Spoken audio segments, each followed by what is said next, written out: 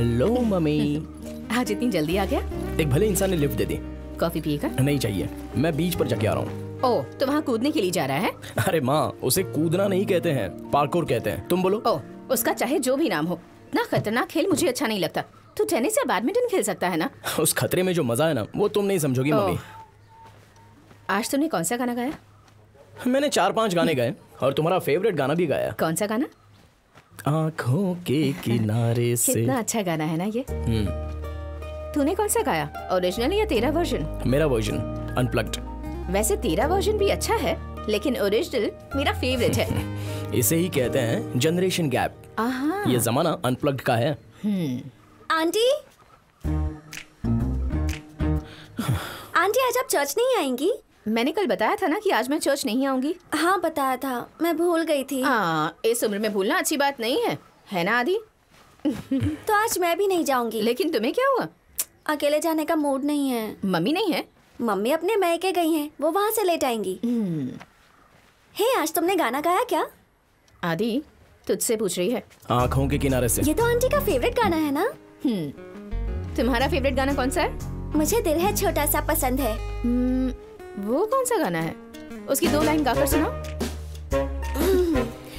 दिल है छोटा सा छोटी सी आशा मस्ती भरे मन में भोली सी आशा चाँद तारों को छूने की आशा आसमानों में उड़ने की आशा। अच्छा है ना? हाँ हाँ। क्यों आदि? किसी दिन तुम ये वाला गाना गाना हाँ? आदि वो तुमसे कह रही है। हाँ। अच्छा आंटी मैं जाती हूँ। हाँ ठीक है बेटी। मैं जा रही हूँ। आदि तुमसे कह रही है। मॉम तुम ना उसे उससे क्या Adi you know what problem is right फिर आप उसे एनकरेज क्यों कर रही हैं? मैंने कहा एनकरेज किया। मैं उस लड़की को यहाँ आने से रोक तो नहीं सकती ना। ये उम्र होती ही ऐसी है। थोड़े दिन में ठीक हो जाएगी। याद है टेंथ स्टैंडर्ड में तुमने भी एक लड़की को लव लेटर दिया था? आज तुम्हें वो याद है क्या? ये भी उसी तरह है। हमारे घर आने से अगर उसे खुशी मिलती है तो हम लोग उसकी खुशी में रोड़ा क्यों बने? ओहो तो मेरी प्यारी मॉम ये बताओ कि तुम अपने प्रेमी के साथ क्यों भागी थी? और वो भी तब जब तुम 18 साल की थी और लड़का मोहन वर्मा एक हिंदू था। हम्म, वो इन्फैचुएशन नहीं था वो ट्रू लव था। हम्म ये ऐसा नहीं होना चाहिए। हाँ ऐसी सिचुएशन में तुम्हें भागने की ज़रूरत नहीं है। हम लोग ट्रू लवर्स की शादी करवा देंगे। मुझे क्रिश्चियन लड़की से शादी नहीं करनी है। लेकिन तुम्हें क्रिश्चियन से प्रॉब्लम क्या है? क्योंकि मैं एक सुंदर सी मुस्लिम लड़की से शादी करूँगा। तभी तो इस घर में कम्युनल हारमनी बनी रहेगी हाँ? मुझे डाउट हो रहा है कि तुम मज़ाक मज़ाक में अपने मन की बात मुझे बताने की कोशिश कर रहा है। मेरा एक गोल है। मोहन वर्मा वो आपके हस्बैंड है या नहीं? वो तेरे देखो माँ, मुझे दो साल का टाइम दिया है म्यूज़िक डायरेक्टर बनने के लिए। उसमें से अभी छह महीने बीत चुके हैं और बाकी बचे हुए टाइम में प्यार करने के लिए मेरे पास टाइम नहीं है। वेरी सॉरी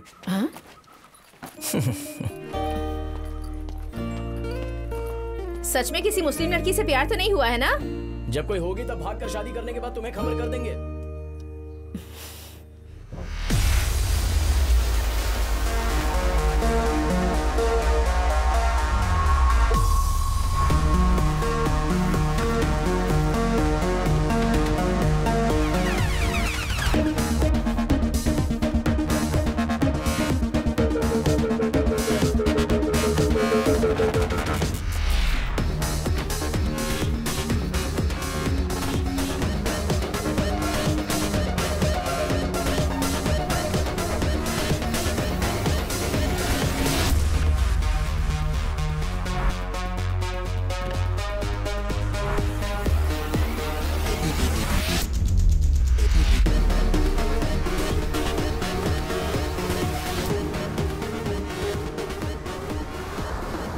जैसा सिखाया था वो वैसा ही कर रहा है। आज इतने लेट क्यों? अरे ये कार के पीछे पागल है। वहाँ पर एक ऑडी एक्स एट थी। R eight O R eight थी। ये उसके चारों तरफ़ दौड़ रहा था। यार वो सुपर कार है। B H P four twenty eight car चलानी हो तो ऑडी चलाओ जो कि हवा से बात करती है। तू डायरेक्टर को मिलने गया था। क्या हुआ? क्या होना था? ऐसा लगता है मेरे नसीब में लिखा है कि मुझे ज़िंदगी भर किसी होटल या रेस्टोरेंट में ही गाना गाना पड़ेगा। तू टेंशन मत ले। तेरा भी दिन आएगा। देख मुझे, पक्का यकीन है कि तू एक दिन बहुत बड़ा म्यूज़िक डायरेक्टर बनेगा। बस थोड़ा हौसला रख। चलो देखते हैं। मुझ जैसे हज़ारों लोग कोशिश तो कर ही रहे हैं। लेकिन उनमें से कितनों को मौका मिलता है? सिर्फ़ टैलेंट काफ़ी नहीं है। लग भी साथ देना चाहिए। क्यों? तुम किसी दूसरे लैंग्वेज में ट्राई क्यों नहीं करते? हाँ। वहाँ पर तो नए लोगों को बहुत चांस मिलता है। सही कहा। नए इंडस्ट्री में सर्वाइव करना तो बहुत मुश्किल है। लेकिन अभी के म्यूज़िक डायरेक्टर्स और सिंगर्स सभी न्यू कमर्स हैं यार। नए लोगों को ट्राई करने से सभी को डर लगता है। किसी तरह अपने आप को हाइप करो और यूट्यूब में लाइक्स बढ़ाओ। सेल्फ प्रमोशन के अलावा तो और कोई रास्ता नहीं है। हाँ बात तो आदि है। तुम एक अच्छा सा गाना बनाओ उसे शूट करके यूट्यूब में डालते हैं। हाँ? ठीक है। मेरे मन में एक प्लान है। एक अच्छा म्यूज़िक वीडियो बनाते हैं। लेकिन अच्छा बनाने के लिए तीन से चार लाख रुपए तो लगेंगे। तीन से चार लाख? देख हमें पहले छोटे बजट में कुछ बनाना चाहिए। उसके बाद आगे नहीं यार अगर करना है तो अच्छा ही करना है। नहीं तो कोई फ़ायदा नहीं। ओह लेकिन इतने पैसे हम कहाँ से लाएँगे? तुम्हारे डैड हेल्प करेंगे क्या? उसकी ज़रूरत नहीं है। वैसे भी मेरी वजह से वो बहुत ही टेंशन में है। और ऊपर से ये सब उन्हें बताना वो सब ठीक नहीं होगा। तू देखना सब ठीक हो जाएगा। ये रहा माल। क्या ये? सिर्फ़ एक बोतल से क्या होने वाला है? अपने आप को क्राइस्ट समझते हो जो सबको एक बोतल में पिला दोगे? भाई वो एक लीटर का बोतल है। हम पीने वाले लोग छः हैं। एक एक को तीन तीन पैक मिलेंगे उतने काफ़ी है। ज़्यादा पीकर नाटक करने का कोई मतलब ही नहीं है। अरे यार हर महीने दुबई से यहीं आ जाया करो। हाँ हाँ मैं हर महीने तुम्हारे लिए दुबई से बोतल लेकर आया करूँगा। पागल समझा मुझे? अरे यार अभी तक हमारा चखना और सोडा नहीं आया। अच्छा देख भाई मैं मैं जल्दी जाऊँगा क्योंकि मेरी माँ घर में अकेली है। बहुत खुशी की बात है। एक आदमी तो कम हुआ। तुम लोगों ने स्टार्ट नहीं किया? अरे कहाँ चले गए थे तुम दोनों? अरे यार मेरा ऑमलेट लाया क्या? ये ले। हैं? अरे ये तो सींग दाना है। इसे ऑमलेट समझ के खा जा तेरे लिए यही सही है। आते समय हम उस टूर्स एंड ट्रैवल्स वाले पागल जॉर्ज को देखकर रुक गए थे। वो उधर का रेगुलर कस्टमर है। यार हमें प्यास लगी और तुम लोग बकवास कर रहे हो यार। ज़्यादा मत बोल हम बकवास करने नहीं गए थे। हम वहाँ आदि के बारे में बात करने गए थे। मेरे बारे में? उसे देखकर मुझे एक बात याद आ गई। पिछले महीने मैं और वो एक ब्रांडेड कार खरीदने के लिए बेंगलुरु गए थे। वहाँ का एक ब्रोकर हमें एक क्लब में लेकर गया। उस क्लब का नाम क्या था? फॉक्स क्लब हाईफाई क्लब है। वहाँ की फ़िल्म इंडस्ट्री के सब बड़े बड़े स्टार्स वहाँ पर आते हैं। और वो भी खासकर म्यूज़िक इंडस्ट्री वाले। उस क्लब में एक कैरोकी म्यूज़िक सेटअप है। सारे फ़ेमस सिंगर आकर वहाँ पर गाना गाते हैं। अगर तू भी वहाँ पर गाना गाएगा तो तू देखना तेरी लाइफ पक्का सेट हो जाएगी। और वो भी सैटरडे नाइट को ही गाना गाना। क्योंकि उस दिन फ़िल्म इंडस्ट्री के सारे बड़े स्टार्स वहाँ पर आते हैं। लेकिन उधर ये अपना म्यूज़िक कैसे सुना सकता है? आ, अंदर जाने के लिए तो मेंबरशिप लेनी पड़ेगी। तीन चार लाख लगेंगे क्या करें? एक काम कर सकते हैं। क्लब के किसी मेंबर का गेस्ट बनकर तू वहाँ जा सकता है। पर उसके लिए भी पच्चीस हज़ार फ़ीस तो लगेगी यार। भाई तेरे पहचान का एक कार ब्रोकर था ना? उससे बात करके देखो ना। काम तो हो जाएगा लेकिन पच्चीस हज़ार की सिर्फ़ बात नहीं है बात है तो प्रॉब्लम क्या है यार? हम्म, बात ऐसी है कि वहाँ के लोगों को हमें किसी और ही तरीके से हैंडल करना पड़ेगा। मैं कुछ समझा नहीं। देख हम तीन लोग वहाँ पर गए थे। उन्होंने मुझे अंदर जाने नहीं दिया। ए ज़्यादा हंसने की ज़रूरत नहीं है। मैंने सूट नहीं पहना था और इसी वजह से उन्होंने मुझे अंदर जाने नहीं दिया। ओ, तुम सूट में बहुत टॉप लगते हो तू तो सूट पहनने के बाद भी बकवास ही लगेगा। देख आदि। तेरे इस लुक से तो काम नहीं बनेगा। तुझे वहाँ अगर गाना गाना है तो पच्चीस हज़ार का जुगाड़ कर। बाकी मैं संभाल लूँगा हाँ? हो जाएगा। हाँ तो सेलिब्रेट करने का एक और रीजन मिल गया। सुन भाई बॉटल खोल। चलो शुरू करो। अरे यार तुम्हारी माँ घर पर अकेली है। तुम चाहो तो जा सकते हाँ तू जा सकता है। हम्म, मेरी माँ के साथ मेरे पिताजी हैं इसलिए तुम चिंता मत करो।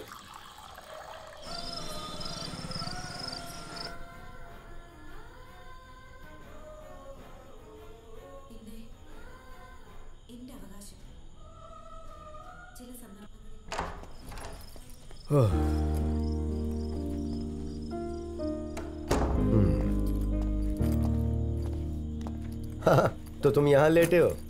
तुम कब से सीरियल देखने लग गए बेटा? मैं सीरियल नहीं देख रहा हूँ।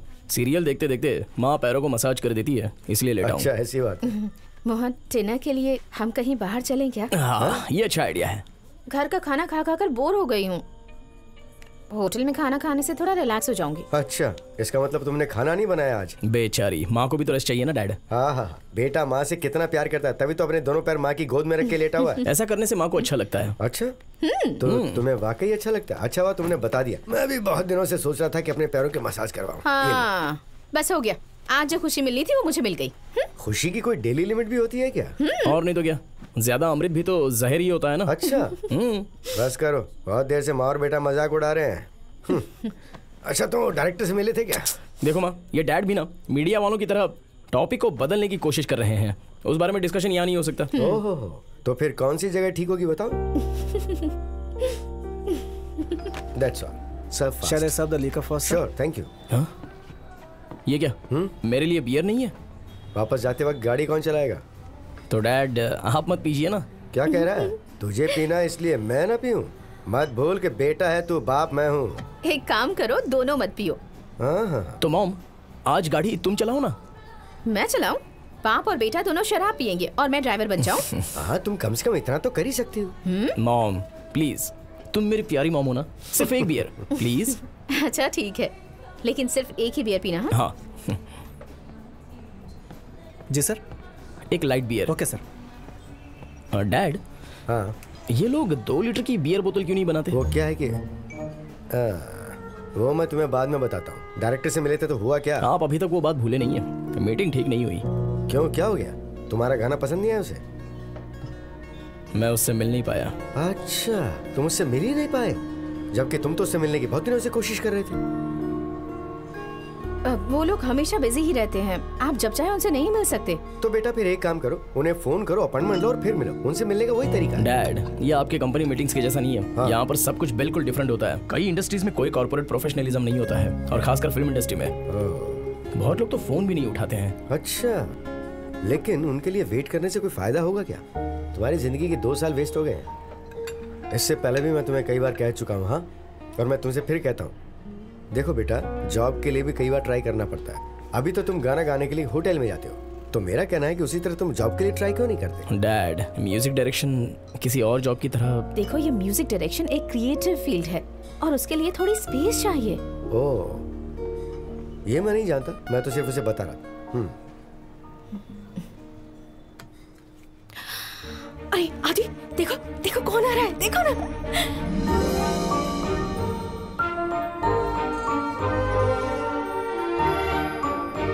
लाल सर।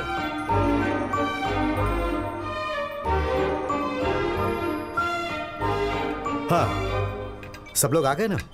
ऑर्डर कर दिए? ये उतना मोटा भी नहीं है जितना फ़िल्मों में दिखता है। क्या ऑर्डर कर रहे हो? बताओ। सी फ़ूड ऑर्डर करते हैं। यहाँ सी फ़ूड अच्छा मिलता है। इस पे दाढ़ी अच्छी सूट होती है। मैं भी सोच रहा हूँ कि दाढ़ी बढ़ा ही लूँ। आदि तुम वहाँ जाकर उनसे मिल क्यों नहीं लेते। लेकिन क्यों? तुम अपने गानों के बारे में उन्हें बताओ ना। अगर उनकी फ़िल्मों में चांस मिल गया तो तुम्हारी लाइफ बन जाएगी। Mom he is an actor ये सब डायरेक्टर्स डिसाइड करते हैं। ये नहीं कर सकते। सुनो आदि इनकी बात कोई डायरेक्टर टाल सकता है क्या? अरे अभी उनसे जाकर बात करना ठीक नहीं हुआ। वो यहाँ पर खाना खाने आए हैं। ये गुड मैनर्स में नहीं आता है। हाँ, ये आपके काम जैसा नहीं है। इसमें काम मांगना पड़ता है वरना कोई नहीं पूछेगा। आदि तुम जाकर बात कर रहे हो या मैं करूँ? अच्छा तुम म्यूज़िक डायरेक्शन करने वाली हो। आदि जाकर बात करो ना। तुम कुछ खोगे थोड़ी बल्कि एक मौका ही मिल जाएगा। अरे उसे बात करने में इंटरेस्ट नहीं तो तुम फोर्स क्यों कर रही हो? मौका हमारे पास चलकर नहीं आता। जाकर बात करो ना। हम्म, जाओ। हम्म। सुनो चलो हम दोनों भी जाकर उनसे मिलते हैं। ओ। ये लड़का भी ना। अरे तुम कहाँ जा रही हो? कम। सर हम आपसे मिलने हाँ। आए हैं। ये मेरा बेटा है। Okay what's your name Aditya. Good आपकी नई फ़िल्म का नाम? ओडियन सर एक्चुअली ये म्यूज़िक डायरेक्टर बनना चाहता है। वेरी गुड सर अगर आपकी फ़िल्म में इसे चांस मिल जाता तो अच्छा होता। म्यूज़िक डायरेक्टर मैं नहीं बल्कि डायरेक्टर डिसाइड करते हैं। लेकिन अगर आप रेकमेंड करें तो एंथोनी इनका नंबर ले लो। Okay sir okay okay we will see हम आपके लिए क्या कर सकते हैं। थैंक ओके ठीक है। थैंक यू एक सेल्फी ले सकती हाँ हूँ? हाँ कम इस तरफ़।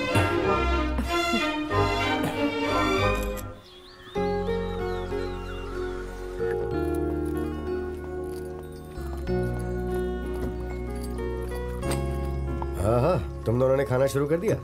यार तुम अपने बाल ठीक से क्यों नहीं रखते? ये ऐसे ही है डैड। ऐसी बात है।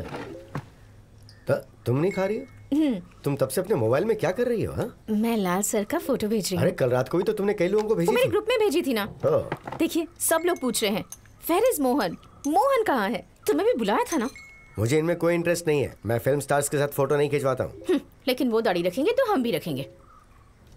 अरे सिर्फ़ वो तो दाढ़ी है। अरे बेटा तुम नेक्स्ट वीक फ्री हो क्या? हाँ लेकिन क्यों? बात यह है कि अपने रॉय अंकल है ना उनके ड्राइवर को डेंगी हो गया है। लेकिन रॉय तो यूएस में है ना? हाँ अभी तो यूएस में ही है। पर नेक्स्ट वीक वो बेंगलुरु आ रहे हैं। रॉय की कार को बेंगलुरु पहुंचाना है। एक हफ़्ते उनकी बेंगलुरु में मीटिंग है उसके बाद जर्मनी चले जाएँगे। तो उनकी कार को वहाँ से वापस लाना है। तो आदि उसका ड्राइवर बनेगा? तुम्हें क्या लगता है रॉय इसे अपना ड्राइवर बनाएगा? रॉय इसे अपनी कंपनी में लेना चाहता है और इसकी हाँ का वेट कर रहा है। फिर भी रॉय ने मुझसे पूछा कि क्या आदि कार लेकर आ सकता है? तुम्हें कोई प्रॉब्लम है क्या? नहीं नहीं है। रॉय ने खुद मुझे बताया कि आदि को एक हफ़्ते के लिए बेंगलुरु भेज दो ताकि मैं इसे अच्छी तरह से समझा सकूँ। रॉय इसे हम लोगों से कहीं ज़्यादा अच्छी तरह समझा सकता है। फ़िल्मों का पागलपन छोड़कर इसे कोई काम करने दो। लेकिन हमने इसे दो साल का टाइम दिया है ना? तो तुम बार बार इसे इस तरह टेंशन क्यों देते हो? हमारी टेंशन देखकर उसे भी टेंशन हो जाती है। वो अभी नादान है मोहन। अरे मुझे इसी बात का तो डर है। देखो ये फ़िल्म इंडस्ट्री नादान लोगों के लिए बिल्कुल नहीं है। तुम्हें पता है ना मोहनलाल किस टाइप का आदमी है? ओह जैसा भी हो तुमसे तो अच्छा ही होगा। उस बेचारे को थोड़ी सी भी फ्रीडम नहीं देते तुम। अरे मैं भी इसे फ्रीडम देना चाहता हूँ। इसके साथ पढ़ने वाले इसके फ्रेंड्स अच्छे जॉब में लग गए थोड़े दिनों बाद इसे कॉम्प्लेक्स होगा और फिर ये काफ़ी मायूस हो जाएगा। और ये सब ना हो इसीलिए मैं ये बात कह रहा हूँ। नहीं वो एक अच्छा लड़का है। वो क्रिएटिव है। उसे अपना टैलेंट दिखाने का एक मौका मिल जाए फिर देखना। बार बार ये कहकर उसे टेंशन मत दिया करो। तो तुम चाहती हो कि मैं इसे बेंगलुरु ना भेजूं? उसे देखकर ही मैं समझ गई। उसे जाने में इंटरेस्ट नहीं है। तो फिर उसने हाँ क्यों कहा? आज तक उसने कभी भी तुम्हारी कोई बात टाली है क्या?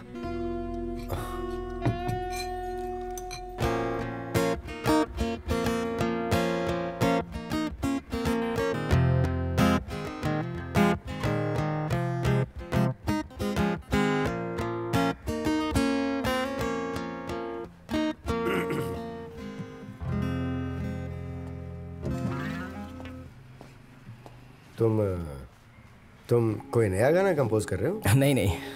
हाँ। क्या हुआ डैड? नहीं नहीं कुछ नहीं। मैं मैं वैसा डैड नहीं हूँ जो ये समझता हो कि उसका बेटा या बेटी मेडिसिन या इंजीनियरिंग करने से ही सक्सेसफुल हो सकते हैं। तुम किसी भी फ़ील्ड में जाओ बस उसमें बेस्ट बनो। बस यही चाहता हूँ। लेकिन इस फ़िल्म इंडस्ट्री में यू you नो know, बहुत ही अनसर्टेनिटी है बेटा।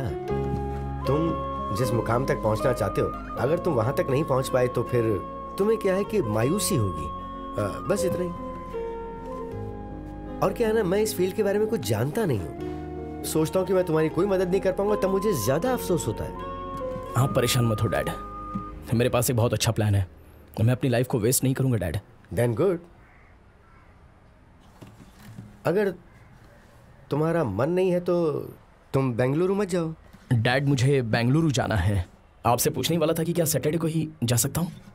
हाँ? ये तो बहुत अच्छी बात है। बेंगलुरु में लेकिन ऐसा क्या काम है? मेरे दोस्त ने मुझे बताया कि वहाँ फोक्स नाम का एक क्लब है और सैटरडे नाइट बहुत सारी फ़िल्म पर्सनालिटीज वहाँ आती हैं। उनके सामने परफॉर्म करने का मौका मिला तो मेरे लिए एक अच्छी अपॉर्चुनिटी गुड एक्टर्स भी आते हैं क्या? तुम एक्टर्स आते हैं या नहीं ये तो नहीं पता लेकिन वहाँ काफ़ी टेक्नीशियंस और म्यूज़िक डायरेक्टर्स आते हैं। ओके तो फिर तुम जाने की तैयारी करो हाँ? तुम खुश हो ना? मैं रॉय अंकल के फार्म हाउस में फ़ोन करता हूँ। तुम हाँ, वहाँ रह सकते हो हाँ? तो फिर मैं अब ऑफ़िस जाता हूँ हाँ? हाँ, अच्छा सुनो। रॉय अंकल तुम्हारा ब्रेन वॉश करने की कोशिश करेंगे हाँ? जस्ट इग्नोर इट बेंगलुरु के उस क्लब का नाम क्या है आदि? फोक्स फोक्स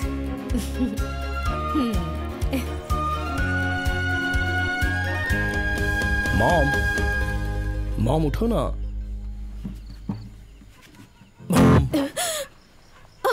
आदि तुम हो।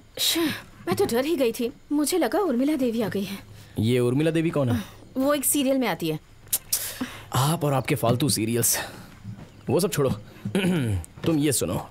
ये मेरा नया कंपोजिशन है। मुझे इसका फीडबैक चाहिए। हम्म, अब इस आधी रात में तुम्हारा ये बकवास म्यूज़िक मेरी नींद खराब करेगा। कल सुबह सुनती हूँ। प्लीज़ नहीं सुनोगी तो इसका फ्लो चला जाएगा। प्लीज़ सुन लो। इसीलिए कहती हूँ तुम्हें एक अच्छी गर्लफ्रेंड चाहिए। तो चाहे आधी रात हो या सुबह हो तुम्हारा म्यूज़िक सुनने के लिए कोई तो होगा। कैसी माँ हो? बेटे को बिगाड़ने पर तुली हुई हो। अच्छा ठीक है ये सुनो ना प्लीज़ ओके हम्म, चलो सुनाओ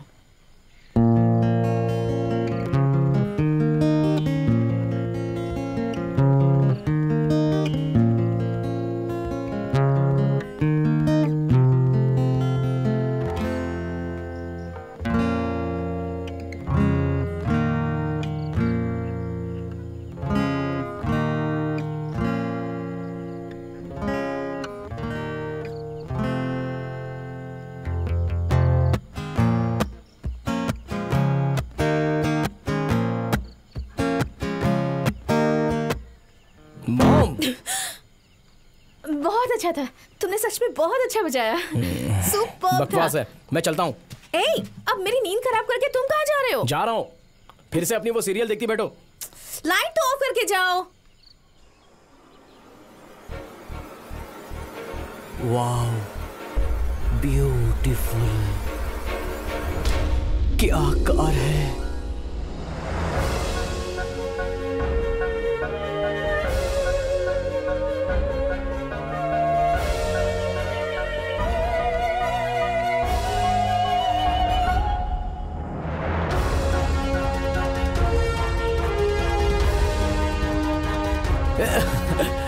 नाइस कार यार।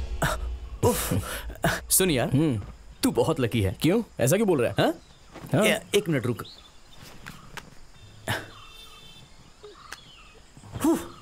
लगता है यार ये गाड़ी किसी रईस आदमी की है। वो आदमी राजा महाराजा से कम बिल्कुल नहीं होगा। सुनो मुझे क्या शाम को फ़ंक्शन के लिए वहाँ पर आना पड़ेगा? क्या बाद में रख सकते हैं? क्योंकि एक नई ब्रांडेड कार में बैठा हूँ सोच रहा हूँ कि बेंगलुरु घूम के आ जाऊँ। अरे कोई ऑर्डिनरी कार नहीं है। ये वर्ल्ड की बेस्ट कार है। बी ट्वेल्व पेट्रोल इंजन है। और इसका बी एच पी अब अबा मेरी अबा प्लीज़ प्लीज़ डांटो मत सुनो तो। ठीक है नहीं नहीं, नहीं जाऊँगा मैं नहीं जाऊँगा। अब बिल्कुल नहीं जा रहा हूँ। अब तो खुश हो ना हाँ?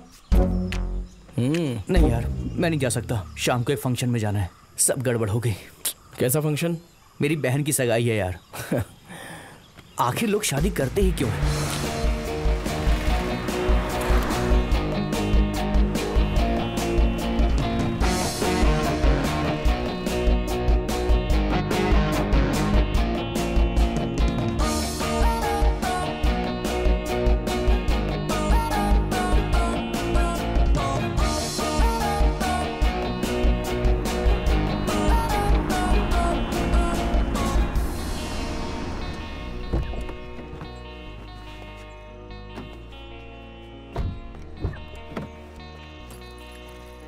मैं लेके आता हूँ सर थैंक यू सर आपको पीने के लिए कुछ लाऊं? नहीं कुछ नहीं चाहिए। मैं जरा बाहर जाऊँगा। हाँ ठीक है sir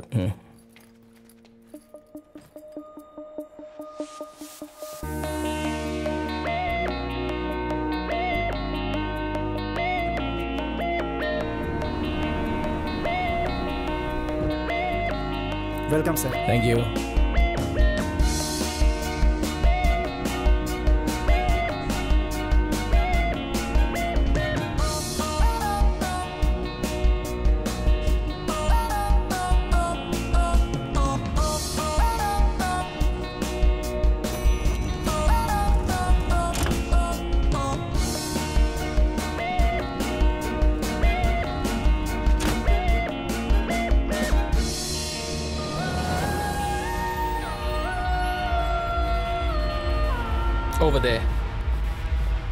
Mr. Kumar? Yes. Hi, I'm Aditya Mohan. Hi. Mr. Arvind sent me. Yeah, yeah, he told me. Okay, actually, I would like to perform here tonight. You have any CD, pen drive like Uh, that? sure.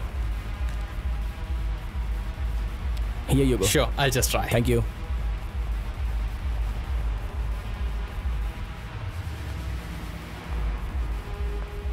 Hi. Hadi? Anjana? What a surprise, man. I never expected you here. Yeah, me too. Uh, are you a member?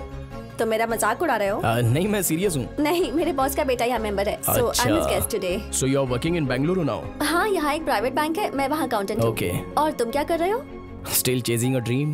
ओह ऐसी बात है तो तुम music director बनने का सपना नहीं छोड़ोगे ना तुम यहाँ किसी से मिलने आए हो क्या no, I'm actually performing here tonight. Excuse me, बात Mr. है? Aditya. The stage is all yours. हाँ, thank you. Lucky me all the best just rock it Thank you.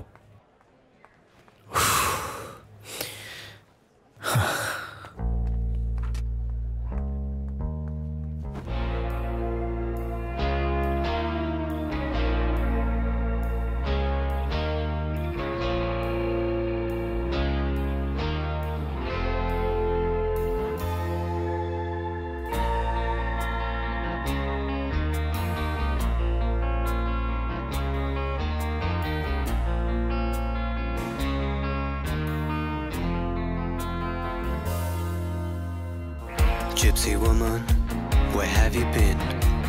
Gone too long, don't you know it's a sin? It's been three nights and four more days. Oh, you know you put me in a daze.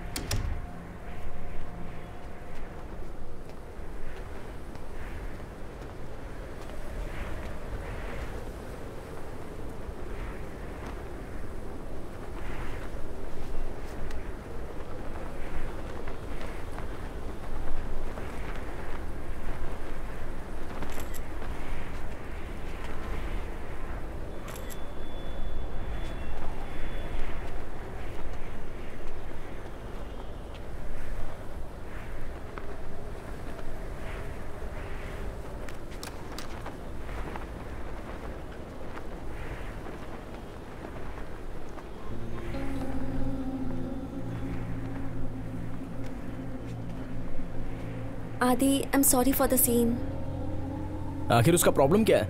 मैं तुमसे बात कर रही थी जो उन्हें अच्छा नहीं लगा। दोनों एक नंबर के लफंगे हैं। ऐसे लोग काम करते हैं तुम्हारी कंपनी में? मैं क्या करूँ? एक आदमी बॉस का बेटा है और दूसरा मेरा रिश्तेदार और वो मेरा कुलीग भी है। मैं दोनों को नाराज़ नहीं कर सकती। अच्छा वो दोनों यहीं के हैं क्या? अंजना! जन यहाँ सीन क्रिएट मत करना। कौन है ये? तेरा बॉयफ्रेंड नहीं! देखो जैन प्लीज़ यहाँ झगड़ा मत करो। Arjun it was my fault Adi तुम यहाँ से जाओ प्लीज़ प्लीज़ मेरी बात सुनो बॉयफ्रेंड को। ए, कौन हो तुम। तुम उसे बचाने आए हो? मैं इसे नहीं चाहता। I don't want any trouble तेरी तो तुम क्या कर रहे हो? मैंने कहा ना मैं इससे पहली बार मिल रहा हूँ। पहली बार मिल रही हूँ। Oh no oh God!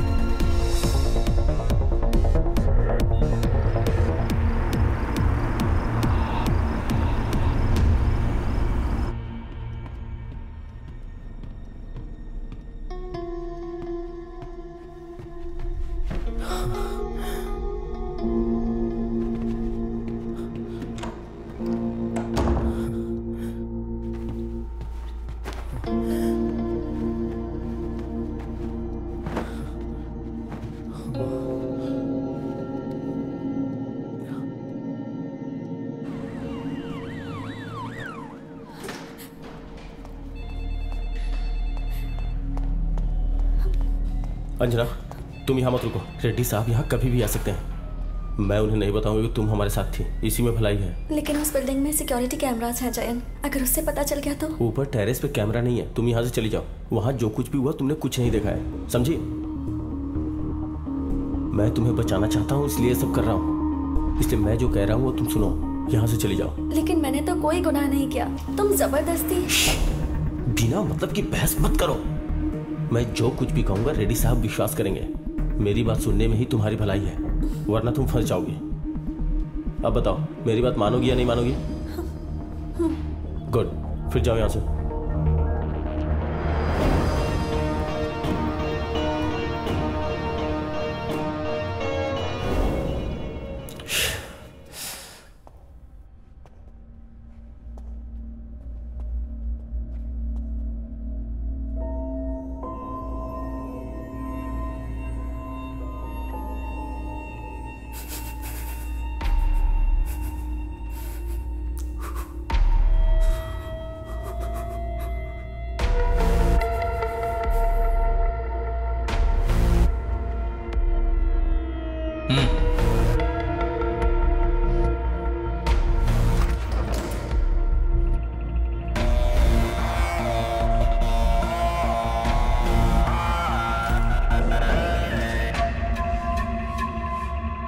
को सिगरेट पीना था इसलिए हम लोग टेरेस पे गए थे। वहाँ एक और लड़का भी था। वो लड़का बिना मतलब हमसे झगड़ पड़ा।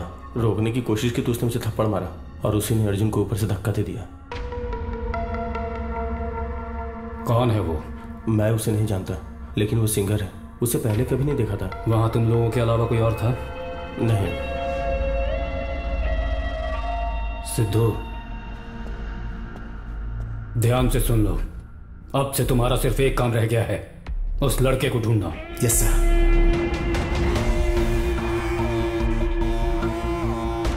mister commissioner. Sir इसको केस मत बनाइए। Sir this is an accidental death he slipped off from the building media को ऐसा ही लगना चाहिए। Yes sir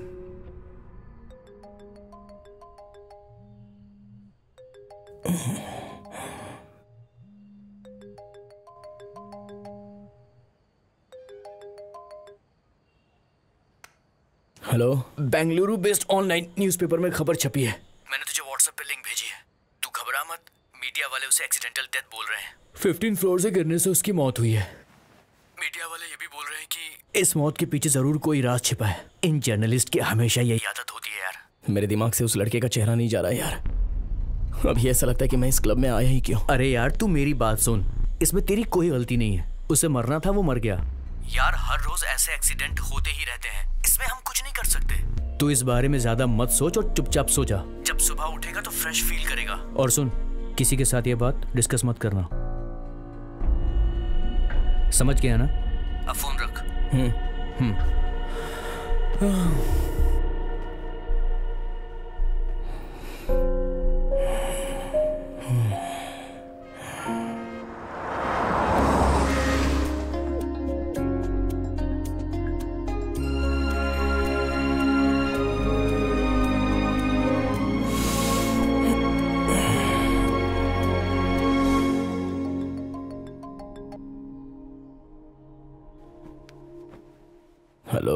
तुम क्लब गए थे? क्या हुआ वहाँ? क्या होना था? मैं गया गाना गाया और वापस आ गया। इंडस्ट्री से कौन कौन आया था वहाँ? हम्म, काफ़ी लोग आए थे। तो तुम उन लोगों से मिले क्या? और उन लोगों ने तुम्हारा गाना सुनकर क्या कहा? हम्म, बोला कि अच्छा है। क्या आदि? तुम इतने थके हुए क्यों लग रहे हो? मैं काफ़ी लेट सोया हूँ माँ। हाँ तो ठीक है सो जाओ। मैं दोपहर को कॉल करती हूँ। क्या कह रहा था वो? हाँ पता नहीं क्या कह रहा था पर काफ़ी थका थका लग रहा था।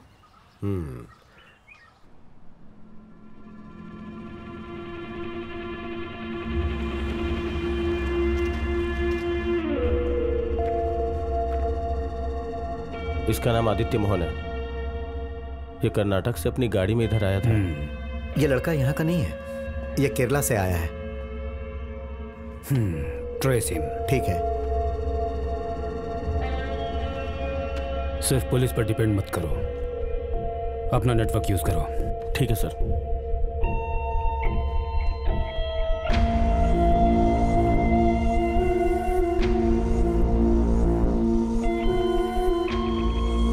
मैंने सारे चैनल्स चेक कर लिए तू बिल्कुल टेंशन मत ले। पुलिस का भी यही कहना है कि एक एक्सीडेंटल डेथ है। पर मरने वाला कोई आम आदमी नहीं था यार। Number one private bank Pinnacle Fincorp के ओनर का बेटा था। नाम नारायण रेड्डी। उसका इकलौता बेटा। नाम अर्जुन रेड्डी। देख यार ये सब कोइंसिडेंस है बस। बेंगलुरु में मेरे पहचान का एक कार डीलर है। तुझे बताया था ना? उसी बंदे ने मुझे ये सारी न्यूज़ दी है। ये रेड्डी एक नंबर का कंजूस आदमी है। इसकी मौत से बहुत से लोग खुश हो गए हैं। क्योंकि ये लड़का भी बाप की तरह एक नंबर का कंजूस था। इसलिए तू फालतू में बिल्कुल टेंशन मत ले। फार्म हाउस से बाहर निकल जाके कोई फ़िल्म देख। नहीं तो पब में जाकर के बियर पी अच्छा फील करेगा। ओके मैं बाद में फ़ोन करूँगा। ठीक है। बाय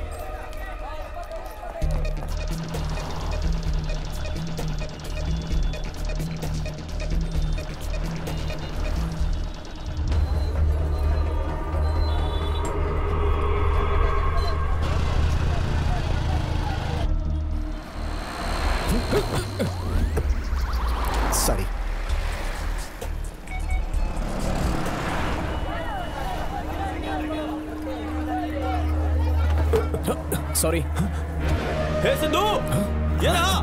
जल्दी आओ। पकड़ो उसे। सिद्धू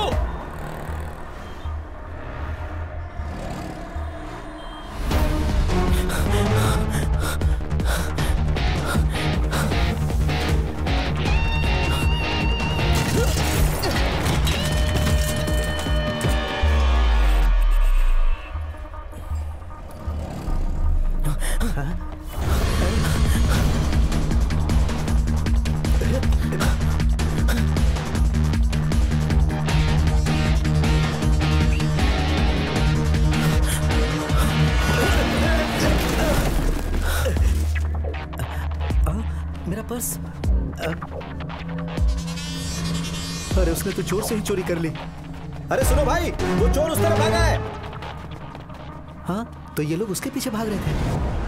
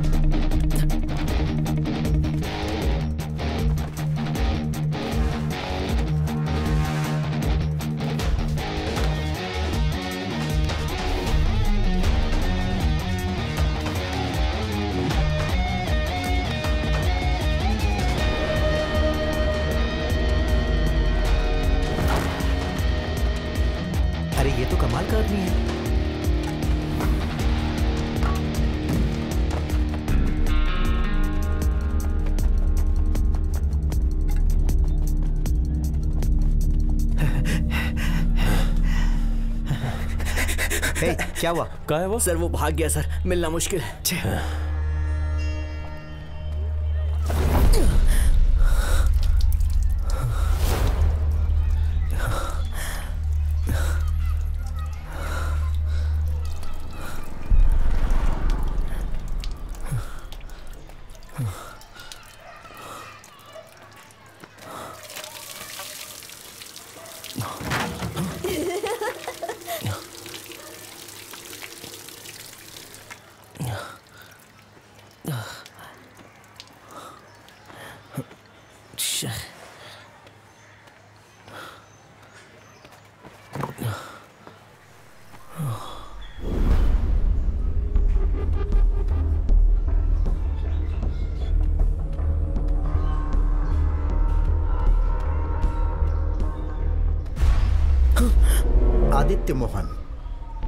क्या आपको पता है कि पूरी बेंगलुरु सिटी में सब लोग आपको ही ढूंढ रहे हैं?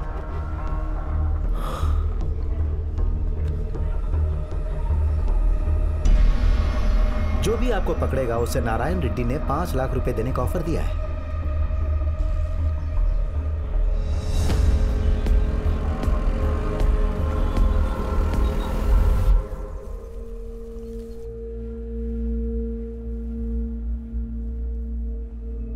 Sir we lost him he is highly skilled skilled ये कमिश्नर ऑफ़िस से आया है। ट्रैफ़िक कैमरा से लिए गए फ़ोटोज़ हैं। कल दोपहर को वो होसूर से सिटी में आया और मैसूर रोड में गया। फिर शाम साढ़े सात बजे वो फिर से मैसूर रोड होकर के सिटी में आया। उसके बाद आधी रात को सिटी से मैसूर रोड में गया। और उसके बाद ये कार सिटी में नहीं आई। ये कार केरला के कॉन्फिडेंट ग्रुप की है। और उसका ओनर डॉक्टर रॉय जोसेफ है। मुझे जानना है कि ये लड़का डॉक्टर रॉय को कैसे जानता है।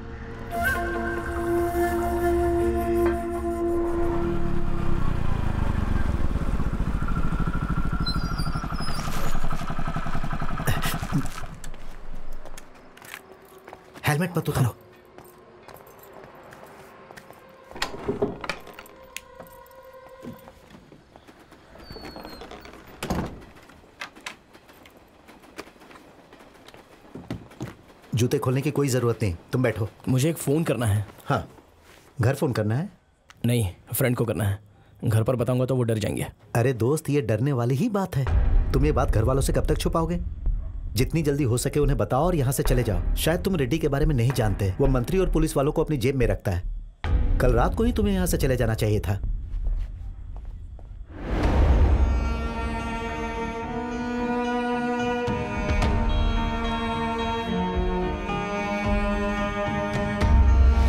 बेटा तुम चिंता मत करो। तुम अभी बाहर मत निकलना हाँ? कल सुबह तक मैं वहाँ पहुँच जाऊँगा। क्या हुआ? हैं? क्या प्रॉब्लम है? अ, कुछ तो बोलो मुझे टेंशन हो रही है। नहीं नहीं नहीं कुछ नहीं। अ, अ, हमने टीवी में देखा था ना वो फॉक्स क्लब में एक लड़का गिर के मर गया था। ये उसी बारे में। हाँ। आदि से झगड़ा करने के बाद वो गिर के मरा हाँ, आदि ने कुछ नहीं किया लेकिन। हाँ, तो तो फिर वो वहाँ पर क्यों रुका हुआ है? उससे कहो कि अगली फ़्लाइट से वो तुरंत यहाँ पर आ जाए। तुम चुप क्यों हो? उसे वापस आने को कहो ना। हाँ वो क्या? वो जो लड़का मारा गया उसके आदमी और पुलिस पूरे बेंगलुरु शहर में आदि को ढूंढ रही है। वो वहाँ एक लोकल लड़के के घर में छुपा हुआ है। मतलब वो फार्म हाउस में नहीं है? नहीं। उससे कहो कि वो तुरंत फार्म हाउस चला जाए। उसे फ़ोन करो ना। हो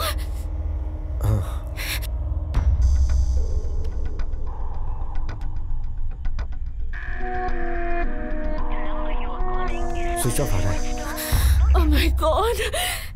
मैं एक बार दोबारा ट्राई करता हूँ। हाँ फ़ोन करो।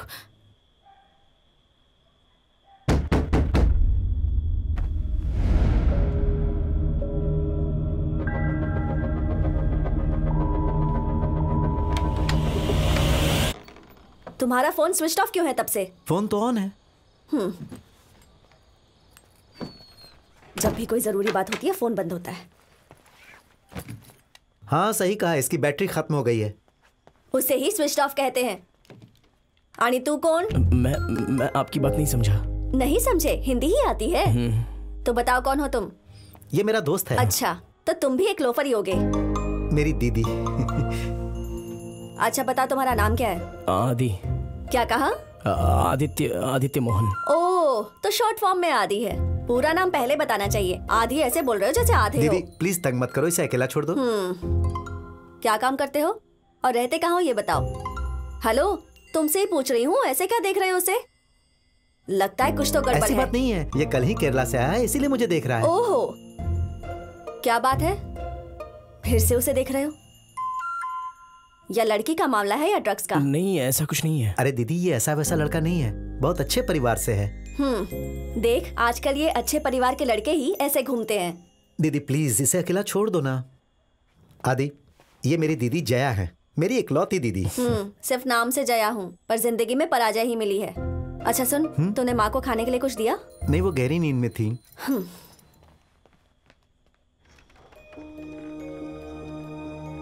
माँ आपको कुछ खाना नहीं है क्या? ऐसे कैसे चलेगा माँ? आप कुछ खाओगी नहीं तो दवाई कैसे लोगी? आपको भूख नहीं लगी? अच्छा मैं सफ़ाई कर देती हूँ। माँ ये मेरा दोस्त है केरला से है। एक बार गिर गई थी फिर उठ नहीं पाई। डॉक्टर ने कहा ऑपरेशन करने से ये ठीक हो जाएगी। लेकिन उसके लिए छह से सात लाख रुपए चाहिए। ये फ्लैशबैक बंद कर और यहाँ से जा। दीदी की बातों का बुरा नहीं मानना तुम। हाँ। वो ऐसी ही है। वो बहुत तकलीफ़ उठाती है ना? माँ की दवाइयों के लिए हर महीने दस हज़ार रुपए लगते हैं। तुम्हारे पिताजी कहाँ हैं? वहाँ देखो। पाँच साल पहले वो चल बसे। खुदकुशी कर ली थी। जानते हो इंदिरा नगर में हमारा घर और प्रॉपर्टी थी। पिताजी की ट्रेवल एजेंसी थी। और उनका बिज़नेस भी बहुत अच्छा चल रहा था। उसे और डेवलप करने के लिए उन्होंने बैंक से लोन लिया। फिर कुछ समय के बाद बैंक लोन की वजह से हमारा घर प्रॉपर्टी और बिज़नेस सब बर्बाद हो गया। मेरे पिताजी बहुत सीधे आदमी थे। इसलिए सब खत्म हो गया। बैंक वालों ने मेरे पिताजी को धोखा दिया, क्योंकि उन्हें हमारी प्रॉपर्टी चाहिए थी। जानते हो उस बैंक का ऑनर कौन है? नारायण रेड्डी। अब तुम समझ गए ना कि तुम्हारी मदद मैं क्यों कर रहा हूँ? जब मुझे पता चला कि तुम्हारे पीछे रेड्डी के आदमी हैं तो मैंने मनी भाई को फ़ोन किया। उन्होंने ही मुझे व्हाट्सअप करके तुम्हारे बारे में बताया। वो तुम्हें जानते हैं। यहाँ उनके दो ट्रक चलते हैं। वो पीने का पानी और केरोसिन सप्लाई करते हैं। मनी भाई रेड्डी के बैंक में भी सप्लाई करते हैं। लेकिन तुम घबराओ मत वो भरोसेमंद है। अरे बातें खत्म नहीं हुई तुम्हारी? आदि हमें खाना खाना है उसके बाद मुझे सोना है। तुम फिर से उसे देख रहे हो? दीदी आज ये यहीं रहने वाला है। तुम पागल हो गए हो क्या? एक अनजान आदमी को हम कैसे यहाँ रहने दे सकते हैं? दीदी मैं एक बात बोलूँ? अब हेलो? हाँ हाँ देता हूँ। तुम्हारी माँ है। दीदी आओ मैं आपको सब बताता हूँ। हाँ आदि बेटा मैं कब से तुम्हें फ़ोन लगा रही हूँ? तुम्हारा फ़ोन स्विच ऑफ़ क्यों है? फ़ोन की बैटरी डाउन हो गई है मॉम ये सब मैं क्या सुन रही हूँ आदि? मैंने कोई गुनाह नहीं किया mom it was an accident okay बेटा। लेकिन तुम अब वहाँ मत रुको। तुम रॉय अंकल के फार्म हाउस में चले जाओ। वो जगह सेफ़ है। तुम्हारे डैड वहीं पर आ रहे हैं। मैं भी उनके साथ आना चाहती हूँ लेकिन ये मुझे ला ही नहीं दो रहे। ना मुझे। स्पीकर पर डालिए मुझे भी सुना है वो क्या कह रहा है। हाँ हाँ दी मैं अभी यहाँ से निकल रहा हूँ और मैं कल दोपहर तक बेंगलुरु पहुँच जाऊँगा। और रॉय भी कल सुबह वहाँ पहुँच जाएगा। मैं सीधा फार्म हाउस जाके रॉय से मिलके तुम्हारे पास आता हूँ। वहाँ बेंगलुरु में रॉय के कुछ कॉन्टेक्ट्स हैं। मेरे वहाँ पहुँचने तक तुम कहीं बाहर मत निकलना। मैं वहाँ पहुँच कर तुम्हें फ़ोन करता हूँ। ठीक है डैड। तो मैं मैं, मैं चलता हूँ टाइम हो गया मेरा। तुमने फ़ोन हाँ ले लिया। शरद मेरे भाई ये तो क्या कह रहा है? जितनी जल्दी हो सके इसे अपने घर भेजने के बजाय तो इसे हमारे घर लेकर आ गया। रेडी के आदमियों को पता चला तो पता है ना वो क्या करेगा हमारे साथ? आप जैसा सोच रही हैं वो वैसा नहीं है। भैया आदि तुम क्यों रेड्डी के बेटे से झगड़ा करने गए थे? मैंने झगड़ा शुरू नहीं किया। उसने खुद झगड़ा शुरू किया। मेरी वजह से आपको कोई खतरा नहीं होगा। मैं फार्म हाउस चला जाता हूँ। दीदी की बात तुम्हें बुरी लगी? नहीं ऐसी बात नहीं है। रॉय अंकल कल सुबह वहाँ आने वाले हैं। और डैड भी वहाँ आने वाले हैं। मैं मनी भाई को फ़ोन करके बाहर की स्थिति का पता लगाता हूँ। ए मेरा फ़ोन तुम्हारे पास है। ओह सॉरी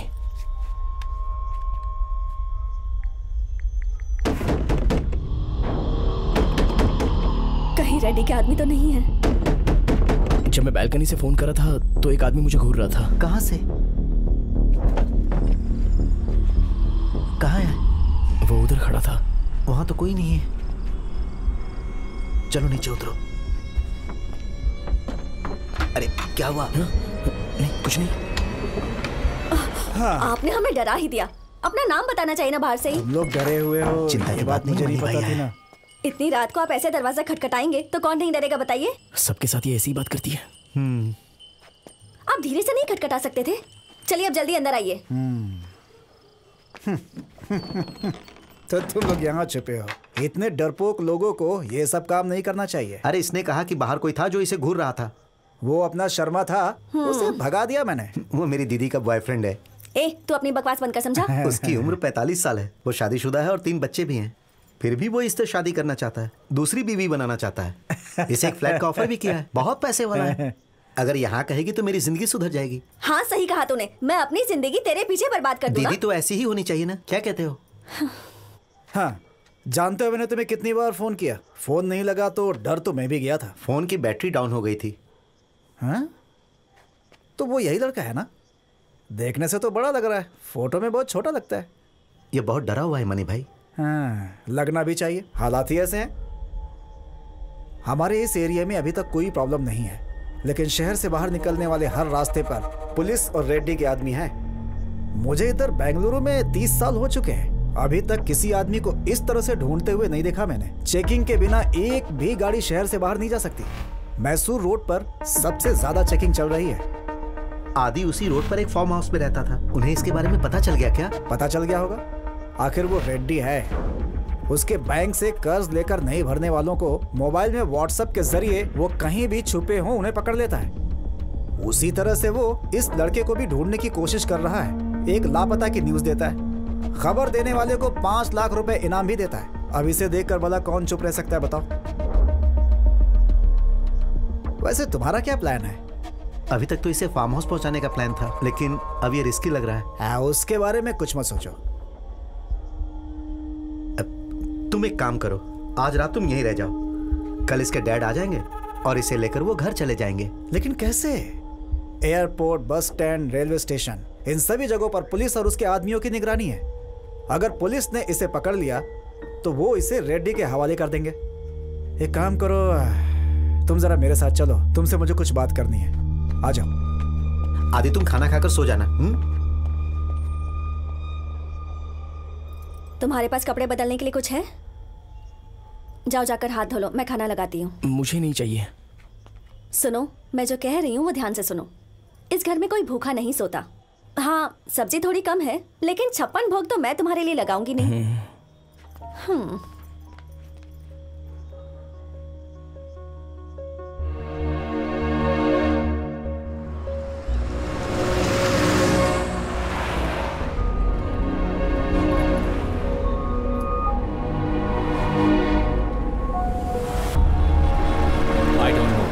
प्रोजेक्ट मुझे किसी भी कीमत पर मिलना ही चाहिए। समझ गए ना?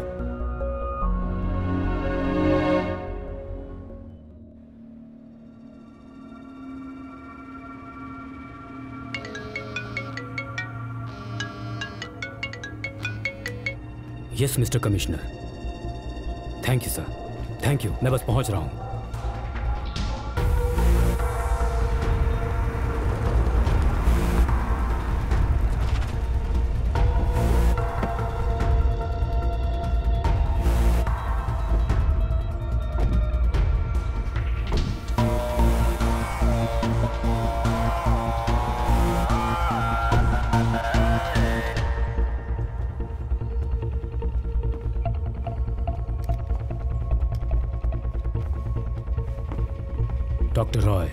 यस मैं नारायण रेड्डी हूँ। आपको बता दूँ कि कल मेरे इकलौते बेटे की हत्या हो गई। माई हार्ट फेल्ट कंडोलेंसेस मेरे बेटे अर्जुन की मौत का कारण जो लड़का है उसका नाम आदित्य मोहन है मैं उसे ढूंढते हुए आया हूँ। आई एम सॉरी मैं उस लड़के को नहीं जानता। हम्म। तो फिर आप ये तो जानते हैं कि आदित्य मोहन एक लड़का है है ना?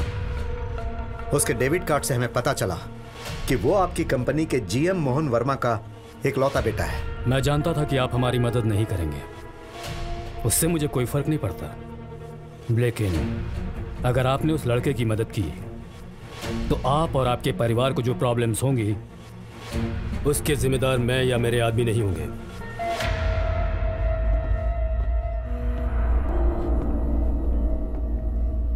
मैं उसे उसी दर्द से गुजरवाना चाहता हूँ जिससे मेरा बेटा गुजरा। इसलिए मैं उसे अपनी बिल्डिंग से नीचे फेंक दूँगा। उससे कहिएगा वो ज़िंदा रहे।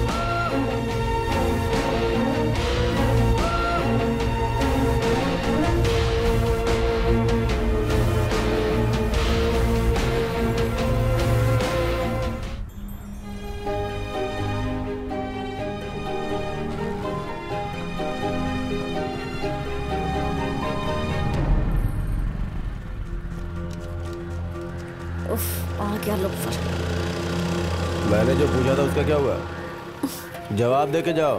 क्या जवाब दो तुम्हें?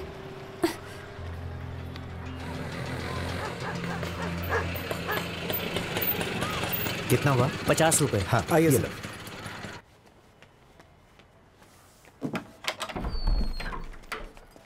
आइए अंदर आइए। आदि। आदि? बेटा dad I didn't do it मैंने कोई अपराध नहीं किया डैड।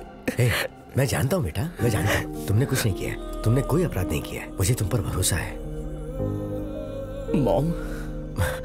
मॉम थोड़ी डरी हुई है। उसने कहा है तुमसे मिलते ही मैं उसे कॉल करूँ। ये लो वो खुद ही फ़ोन कर रही है।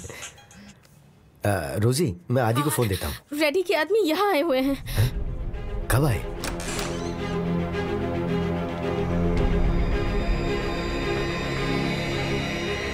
कौन है आप लोग? ये आदित्य मोहन का घर है? हाँ। वो घर पे है क्या? नहीं। हम बेंगलुरु से आए हैं। रेड्डी साहब ने भेजा है। आदि को यहाँ लेकर मत आना। उसकी जान को खतरा है मोहन। नहीं नहीं मैं उसे वहाँ लेकर नहीं आऊँगा। आदि कहाँ है? मुझे आदि से बात करनी है। अ, हाँ मैं उसे फ़ोन देता हूँ। मॉम से बात करो। मॉम आदि आदि बेटा तुम यहाँ मत आना। नहीं आऊँगा मॉम आप टेंशन मत लीजिए। रेडी के आदमी घर के बाहर तुम्हारा इंतज़ार कर रहे हैं बेटा। मैं अभी वहाँ नहीं आ रहा हूँ। मैं अभी बिल्कुल सेफ़ हूँ। फ़ोन दो मुझे। अ, रोजी मैं जो कह रहा हूँ वो ध्यान से सुनो। तुम आदि का ख्याल रखना मोहन और उसे यहाँ मत लाना। रोजी मैं बाद में बात करता हूँ।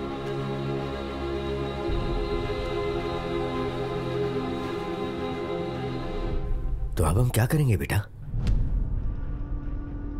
आप रॉय अंकल से मिले? हाँ। वो रेड्डी खुद आकर रॉय से मिला। उसने कहा कि अगर वो हमारी मदद करेगा तो उसे वो परेशान करेगा। रेड्डी ने रॉय को धमकी दी है। इसलिए रॉय हमारे लिए कुछ कर नहीं पाएगा। मुझे कुछ समझ नहीं आ रहा है कि अब हमें क्या करना चाहिए।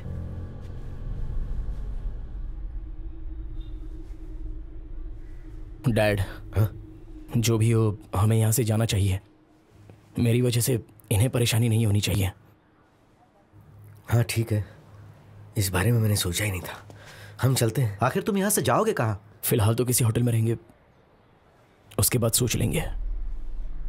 तुम कहीं नहीं जाओगे। हाँ आदि। यहाँ सुविधा कम ज़रूर है लेकिन तुम्हें यहाँ ढूंढते हुए कोई नहीं आएगा। तुम्हारे जैसा बड़े घर का लड़का इस घर में आके रहेगा ये तो वो लोग सपने में भी नहीं सोचेंगे। जया जो कह रही है वो सही है सर। हमारे और आपके बीच कोई संबंध नहीं है सर। वो लोग आपको यहाँ नहीं ढूंढेंगे। कुछ दिन बिना बाहर जाए इसे यहीं रहने दीजिए सर। पहले मामला ठंडा होने दीजिए फिर देखते हैं। सर मेरे पास एक आइडिया है। मुझे लगता है कि अगर आप चाहें तो आदि को विदेश भेज सकते हैं। हाँ भेज सकता हूँ। मैं इसे दुबई भेज सकता हूँ। डायरेक्ट तो नहीं जा पाएगा मगर रॉय ने कहा कि वो मेरे लिए इतना फेवर तो कर ही सकता है। अब सोचने का समय नहीं है। आप बिंदास जाइए सर। घर पहुंचकर आदि को दुबई भेजने की तैयारी कीजिए आप। जब मामला पूरी तरह से ठंडा हो जाएगा तो हम इसे इस शहर से बाहर निकाल देंगे। और वैसे भी सर आपका अपने घर पर रहना बहुत ज़रूरी है। हाँ। हाँ। डैड आप जाइए।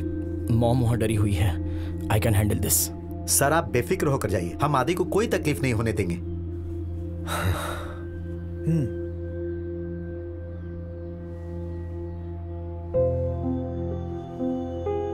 ठीक है बेटा। हाँ? ये लोग हैं ना? तू अपना ख्याल रखना हाँ? तेरे पास पैसे तो होंगे नहीं। ले, ये रख ले। रख। जब ज़रूरत होगी तो मुझे कॉल करना, ठीक है? और वो तेरा बैग हाँ उसे मैं फार्म हाउस से यहाँ पर लेकर आ गया हूँ हाँ। हाँ। इसे भी रख। रख ना कह रहा हूँ रख। और मैं माम को सब बता दूँगा ठीक है? हाँ?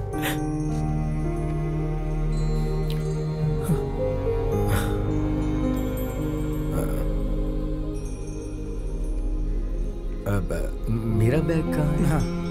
हाँ।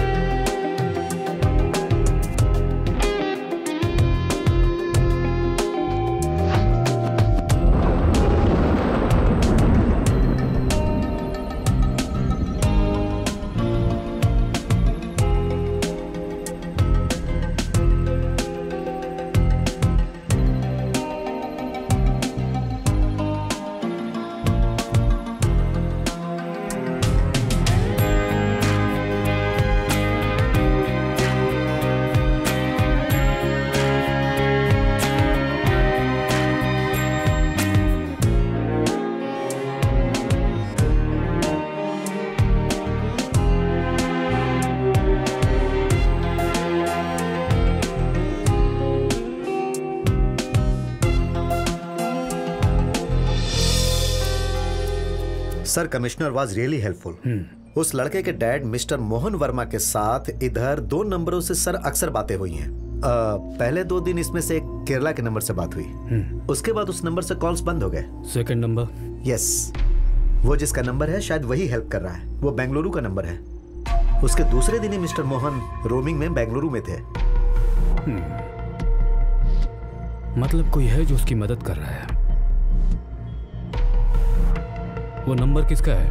वो पाँच साल पुराना प्रीपेड नंबर है सर। किसी शरद नायर का। मतलब वो लोकल ही है? Yes sir. लेकिन उसकी आईडी के एड्रेस में जब मैंने पूछताछ की तो पता चला वो पिछले चार साल से वहाँ नहीं रहता। फिर जब हमने कॉल हिस्ट्री चेक किया तो पता चला कि वो बेंगलुरु ईस्ट के टावर के पास रहता है। सर अगर उसके परिवार वाले को किडनैप कर ले तो? Don't rush and don't complicate things Arjun की मौत एक्सीडेंटल डेथ डिक्लेयर की थी। ताकि उस लड़के के साथ अर्जुन की मौत कनेक्ट ना हो।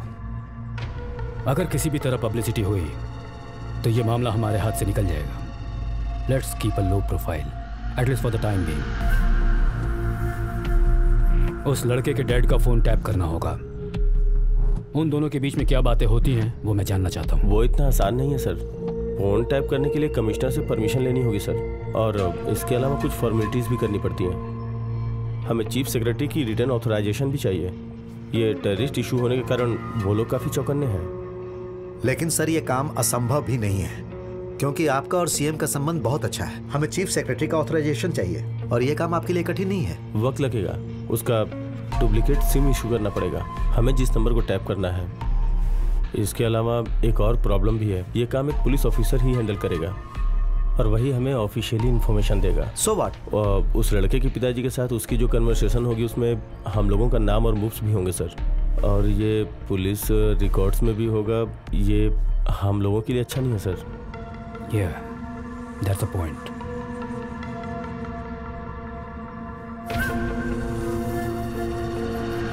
एक बात हो सकती है सर हम कमिश्नर से कह सकते हैं कि वो सीम हमें दे दे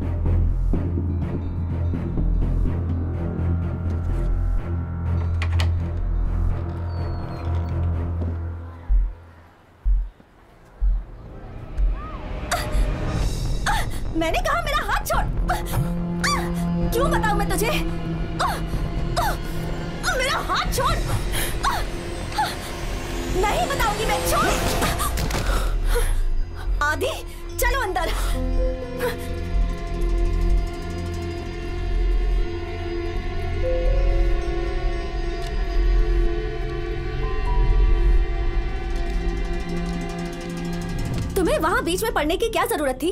जितनी प्रॉब्लम है उतनी काफ़ी नहीं है। इस मोहल्ले के लोगों ने इसका चेहरा देख लिया है अब। तुमने ये बेवकूफ़ी क्यों की? सॉरी मैंने देखा उसने दीदी का हाथ पकड़ा और सब लोग चुपचाप तमाशा देख रहे थे। इसलिए मैंने अच्छा जाने दो।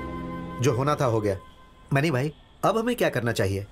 इस कनक नगर कॉलोनी में रेड्डी के आदमी बहुत ही कम है। इसलिए चिंता की उतनी बात नहीं है। लेकिन उन्हें पता चलते ही वो लोग कभी भी आ सकते हैं। इसीलिए आज की रात ये यहाँ ना रहे तो अच्छा होगा। और दीदी आप? वो लोग मुझे कुछ नहीं करेंगे। देखो मुझे जो कहना था मैंने कह दिया। तुम लोगों को जो करना है वो करो। एक मैटर खत्म नहीं हुआ कि दूसरा शुरू हो गया। मनी भाई क्यों ना हम अपने गुप्त ठिकाने पर चले जाते हैं? हम वहाँ पर बिल्कुल सेफ़ रहेंगे और वहाँ से नज़र भी रख सकते हैं।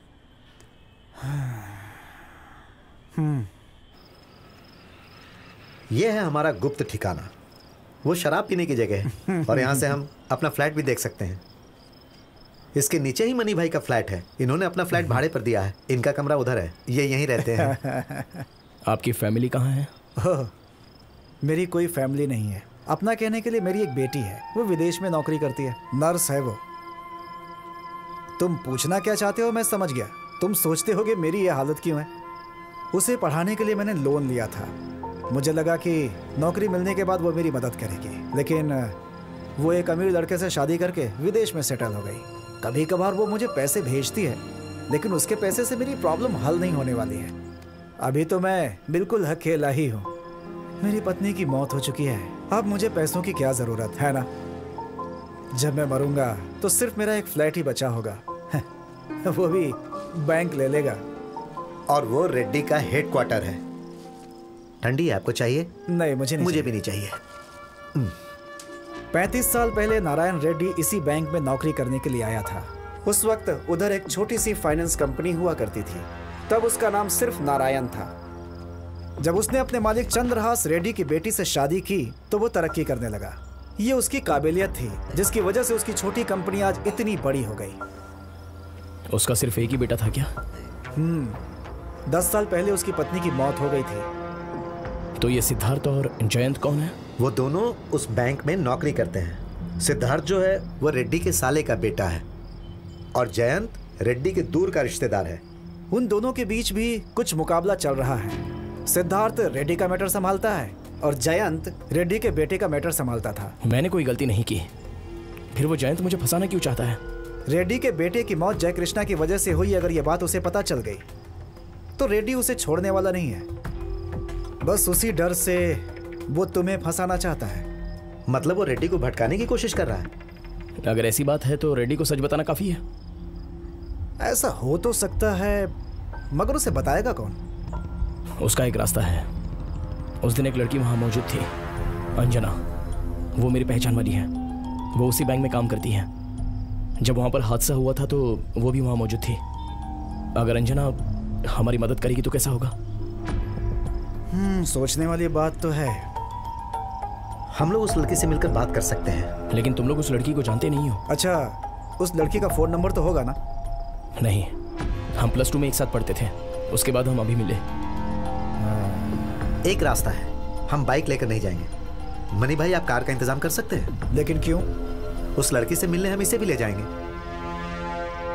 तो फिर जया को भी साथ लेकर चलते हैं। हम एक लड़की से मिलने जा रहे हैं तो हम भी अपने साथ एक लड़की को लेकर चलते हैं। हो सकता है कुछ बात बन जाए। हम्म पर मुझे नहीं लगता ये अच्छा आइडिया है। अच्छे काम के लिए जाते समय ऐसी बातें मत करो दीदी। मुझे नहीं लगता वो लड़की हमारी मदद करेगी यही कह रही थी। उस लड़की की वजह से ही आज इसकी ये हालत है। क्या मतलब है? मतलब ये कि वो मदद करेगी करना पड़ेगा। हम्म ज़रूर करेगी। चलो देखते हैं। वो जो कह रही है बिल्कुल सही है। आखिर वो भी तो एक लड़की है। एक लड़की ही दूसरी लड़की के बारे में जान सकती है। मुझे नहीं लगता कि वो लड़की अब तक ज़िंदा भी होगी। और अगर है भी तो दूसरे की मदद करने के लिए अपनी जान को खतरे में क्यों डालेगी? सब हमारे जैसे बेवकूफ़ नहीं होते।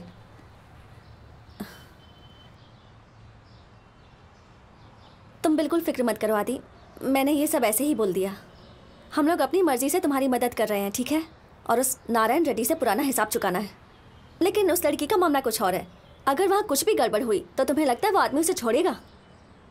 सुनो मैं एक बात बताती हूँ। वो लड़की तभी हमारी मदद करने के लिए राज़ी होगी जब ये उससे मिलकर बात करेगा। क्या तुम वो रिस्क ले सकोगे? मुझे बिल्कुल डर नहीं लगता। यही लोग मुझे जाने से मना कर रहे थे। हम्म ये लोग मूर्ख हैं ऐसी ही बात करेंगे।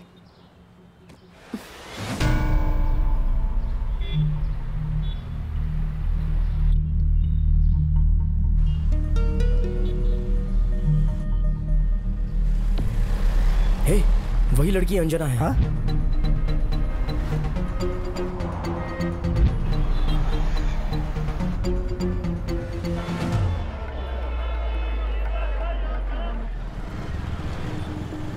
Okay, bye. See you tomorrow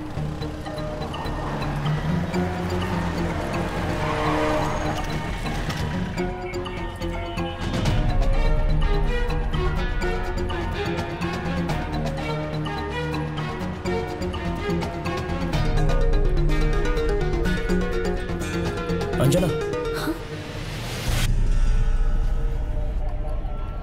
Anjana मुझे तुम्हारी मदद चाहिए। आदि मैं तुम्हारी मदद करना चाहती हूँ लेकिन मैं कुछ नहीं कर पाऊँगी आदि। उसके दिमाग में कुछ और ही चल रहा है। उस हादसे के बाद भी वो मुझ पर नज़र रख रहा है। लेकिन क्यों? उससे विश्वास नहीं होता कि हम दोनों एक दूसरे को पहले से नहीं जानते हैं। इसलिए उसको मुझ पर शक है। वो यही कहीं होगा। मेरी समझ में नहीं आता मैं क्या करूँ। आई एम ट्रैप्ड रेड्डी से अकेले में मिलना हो सकता है क्या?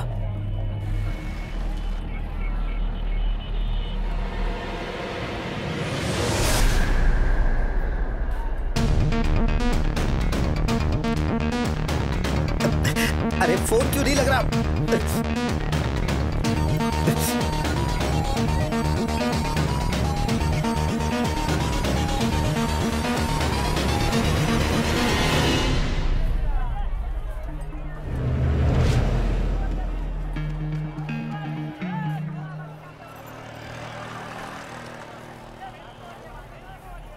कौन हो?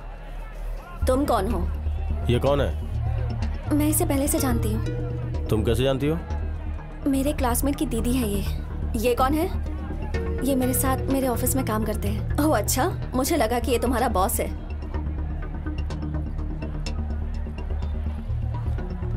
ठीक है अब मैं जाती हूँ।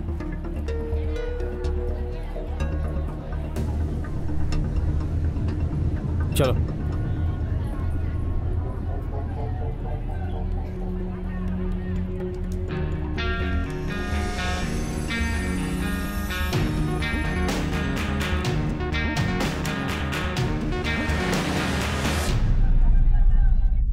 अंजना को गलत नहीं कह सकते हैं डैड। देखो बेटा फ़िलहाल तुम वो सब करने की कोशिश मत करो। जितनी जल्दी हो सके विदेश चले जाओ वही सेफ़ रहेगा। तब तक तुम बाहर बिल्कुल मत जाना। नहीं मॉम आप घबराइए मत। मैं कहीं नहीं जाऊँगा। और मॉम नादिर को इसके बारे में मत बताना। नहीं तो सब लोग इधर चले आ जाएँगे। फिर खतरा और भी बढ़ जाएगा। हमने किसी को कुछ नहीं बताया है। इस कॉलोनी में भी कोई कुछ नहीं जानता है। नादिर ने तुम्हें कॉल किया था और जब तुमने उसका कॉल नहीं उठाया तो उसने यहाँ कॉल किया। उससे कहा कि तुम्हारा फ़ोन खराब हो गया है और तुम रॉय के साथ बिज़ी हो। शरद का कॉल आया था उसने तुम्हें फ़ोन करने को कहा है। ठीक है। उसके बारे में चिंता मत करो हम सब संभाल लेंगे। तुम उधर सेफ़ तो हो ना? हम लोगों को बस इसी बात की टेंशन हो रही है। आदि मुझे जरा फ़ोन दो। डैड मैं बाद में कॉल करता हूँ। आदि। आदि? शरद ने अर्जेंटली कॉल करने के लिए कहा है। कौशल्या दीदी बताने आई थी। शायद बहुत देर से ट्राई कर रहा होगा बिज़ी होगा। मुझे इनकमिंग अलर्ट भी नहीं मिला। वो सर्विसेज़ फालतू तो फ़ोन में नहीं है। हेलो? दीदी अभी के अभी आदि को घर से बाहर जाने के लिए बोलो। उसे मेरी बाइक और हेलमेट दे दो। क्यों? क्या हुआ? रेड्डी के आदमी आसपास के एरिया में उसकी फ़ोटो लेकर हर एक घर में जाकर उसे ढूंढ रहे हैं। और वो लोग कभी भी हमारे घर तक पहुँच सकते हैं। दीदी आप उससे कहो कि वो वहाँ से तुरंत निकल ले। हेलो? हाँ। आप अपना फ़ोन उसे दे दीजिए। जल्दी चलो।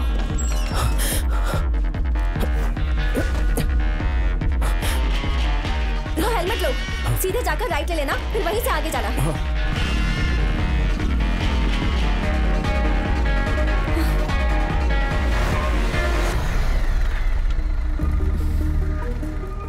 हे। जरा रुको।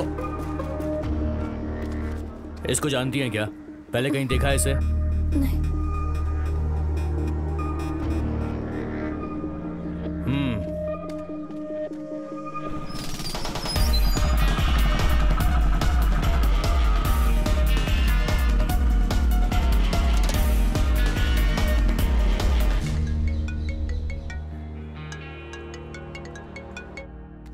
Good morning commissioner thank you sir thank you so much I never forget this no no no मैं किसी को भेजता हूँ सर ओके थैंक यू उसका फ़ोन टैप करने के लिए कमिश्नर के पास दूसरा सिम है। ओके सर वहाँ कोई जाएगा तो वो सिम दे देंगे। सर मैं मैं लेके आता हूँ sir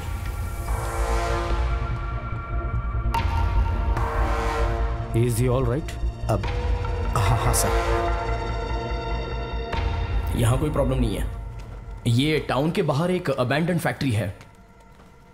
शरद हाँ? इस जगह का नाम क्या है? मडप्पन हली मड़ापन्ना हली बाकी सब मैं कुछ नहीं जानता। हम प्लान करके आपको शाम को कॉल करते हैं। ओके डैड हम्म। शरद हाँ? वीज़ा तैयार है। अरे वाह ये तो बहुत अच्छी बात है।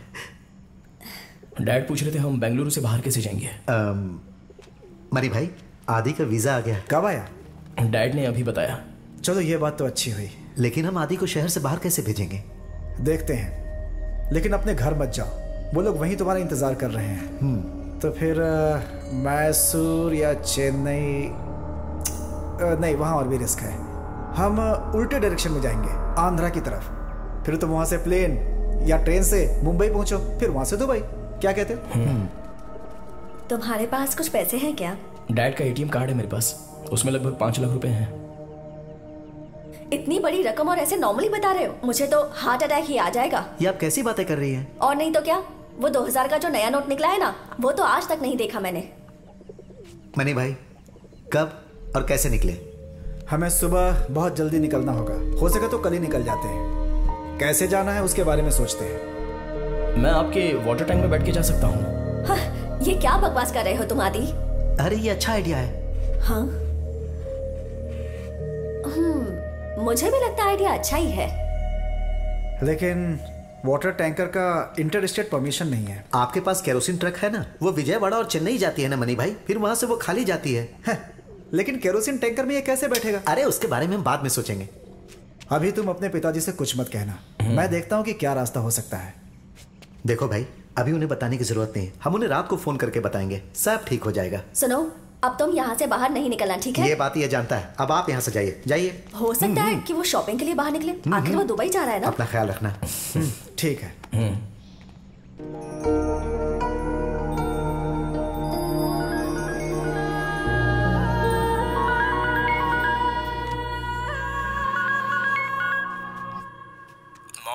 मैं डैड बोल रहा हूँ बेटा।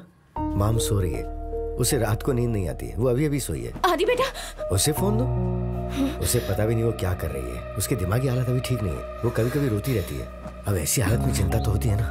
कौन है? आदि है तुम क्या दुबई पहुँच जाओगे तो फिर हम लोग भी अगले आदि दिन वहाँ क्या? पहुँचेंगे। हाँ आदि है। आदि बेटा? हाँ। कोई प्रॉब्लम तो नहीं है ना? नहीं मोम। मैंने बहुत बुरा सपना देखा बेटा। तुम अपना ख्याल रखना। हाँ मॉम। तुम वहाँ से कब निकल रहे हो? और कैसे निकलोगे? ये मैं नहीं जानता। अभी तक कुछ डिसाइड नहीं किया है। जो भी डिसाइड करोगे सबसे पूछ कर करना बेटा।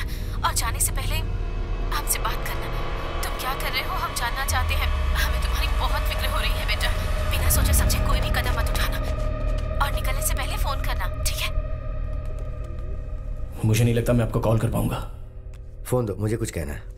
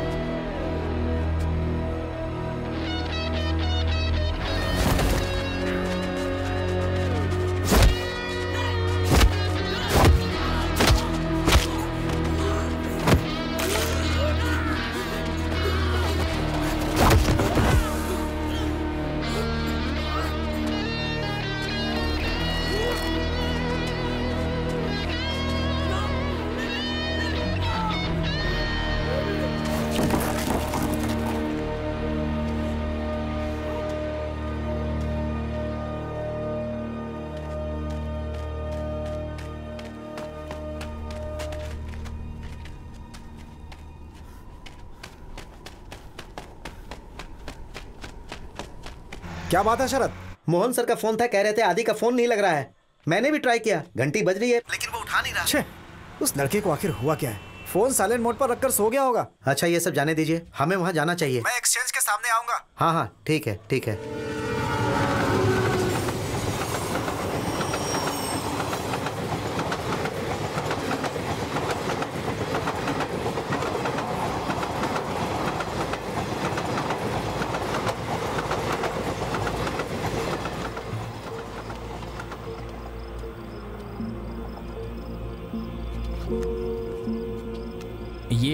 बाहर एक अबैंडन फैक्ट्री है। शरद इस जगह का नाम क्या है? मडप्पन हली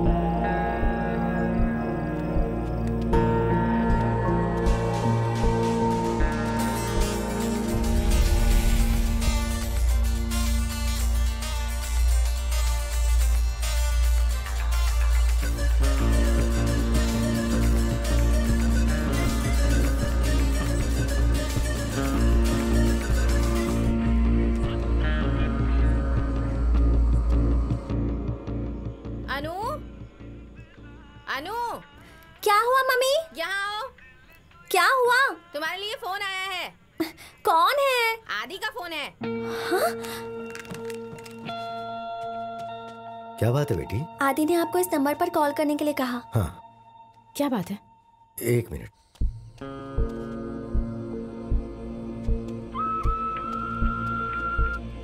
हेलो? बेटा तुमने मुझे फ़ोन करने को कहा। ये किसका नंबर है? वो सब मैं बाद में बताऊँगा। वो लोग हमारा फ़ोन टैग कर रहे हैं। लेकिन ये तुम्हें कैसे पता? जैसे ही मैंने आपको बताया कि मैं फैक्ट्री में हूँ उसके दो घंटे में रेडी कैब में वहाँ पहुँच गए। डरिए मत मैं वहाँ से बच निकला। अब पुराने नंबर यूज़ करके फ़ायदा नहीं है। आप कल नया सिम कार्ड ले लीजिए। अच्छा हाँ हाँ ले लूँगा। अब जो और माम के नंबर से फ़ोन किया तो? नहीं वो भी बहुत रिस्की है। ठीक है मैं नया सिम कार्ड ले लूँगा। ठीक है डैड मैं आपको बाद में फ़ोन करता हूँ। इसके बारे में शरद को बताना होगा। बेटा मैंने अब से दो घंटे पहले शरद को फ़ोन किया था। आपके फ़ोन से? अच्छा, मैं, मैं बाद में फ़ोन करता हूँ। हेलो आदि। क्या हुआ? बाद में बताता हूँ। बेटी ये फ़ोन मैं कल वापस करूँ तो चलेगा? अंकल लेकिन आपके फ़ोन को क्या हुआ? अ, उस पे बेटा वो नेटवर्क इशू आ रहा है तो हम उससे बात नहीं कर पा रहे ना? हम्म ठीक है। अंकल आदि कब आएगा? जल्दी जल्दी आ जाएगा। दो दिन में आ जाएगा। हाँ अब तुम जाओ। हम्म।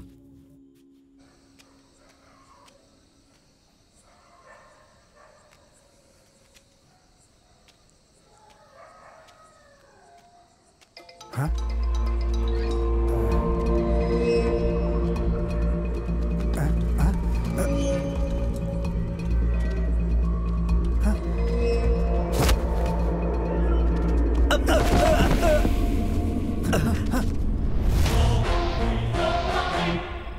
वो कहाँ है?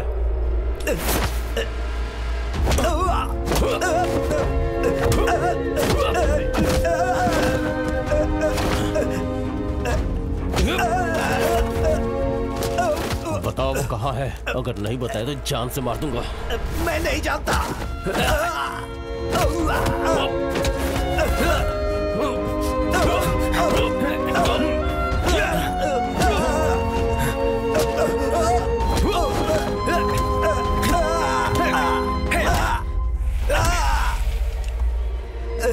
कहाँ है वो?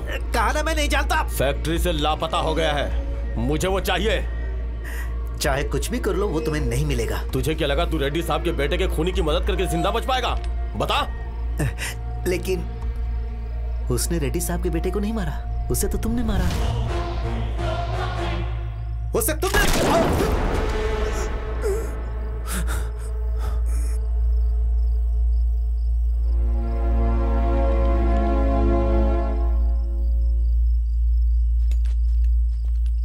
चलो। हेलो शरद मैं आदि। आदि मैं मनी मनी भाई। अपना शरद अब नहीं रहा।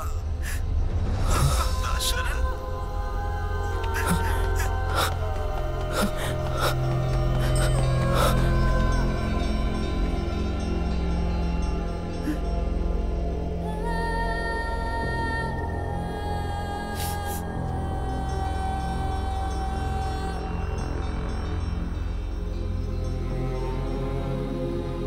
मनी भाई। आदि, मैं कुछ नहीं कर पाया। सिर्फ़ होता हुआ देख रहा था। खड़े होकर सब देख रहा था।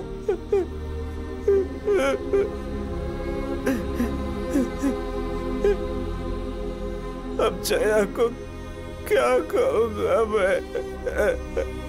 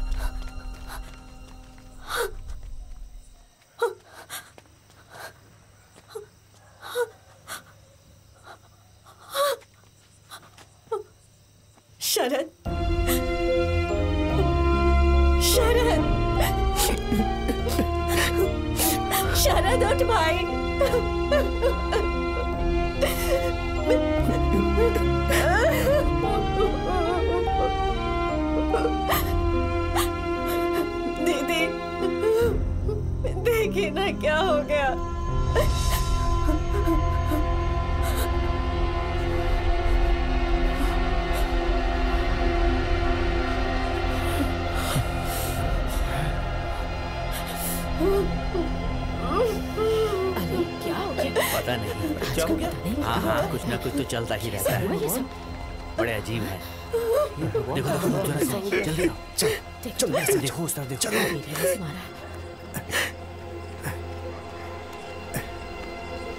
बैठो। जब तक मैं नहीं कहूँ तुम यहाँ से कहीं नहीं जाओगे।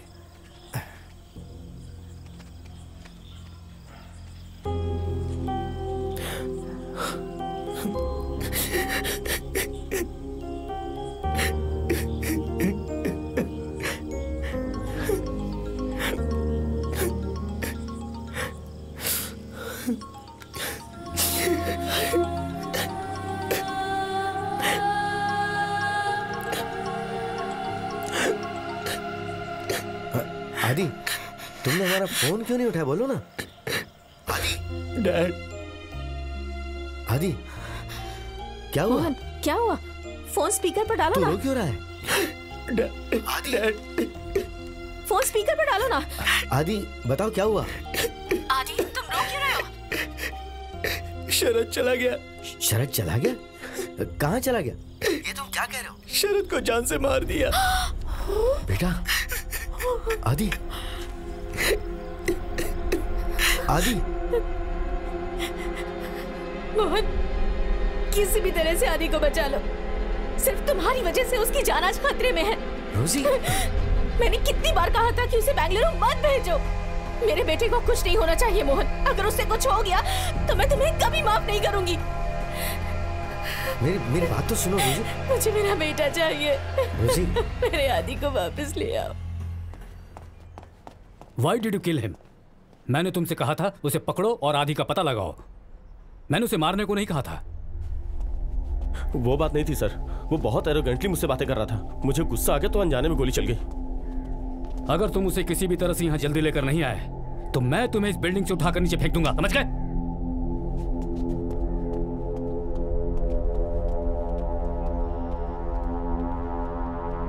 माय फुट रोजी मेरी बात सुनो। नहीं ये बात हमें पुलिस को बतानी होगी। रोजी। बस अब बहुत हो गया मोहन। रोजी हमारी वजह से उसे प्रॉब्लम नहीं, होनी चाहिए। तुम नहीं करोगे तो मैं करूँगी। पहले तुम मेरी बात सुनो उसके बाद तुम्हें जो करना है करो। अगर हमने कंप्लेन भी की तो पुलिस इस पर कुछ नहीं कर पाएगी। लेकिन क्यों? जो कुछ भी हुआ है वो केरला में नहीं हुआ है बेंगलुरु में हुआ है। और रेड्डी के बेटे की जो मौत हुई है वो एक एक्सीडेंटल डेथ थी ऐसा उन्होंने कहा तो फिर हम पुलिस के पास जाकर क्या कंप्लेन करेंगे? रोजी रेड्डी आदि को ज़िंदा पकड़ने की पूरी कोशिश कर रहा है इसलिए वो ज़िंदा है। अगर हमने कोई भी प्रॉब्लम क्रिएट की और रेड्डी ने अपना फैसला बदल लिया तो सोचो क्या हो सकता है। तो हम क्या करें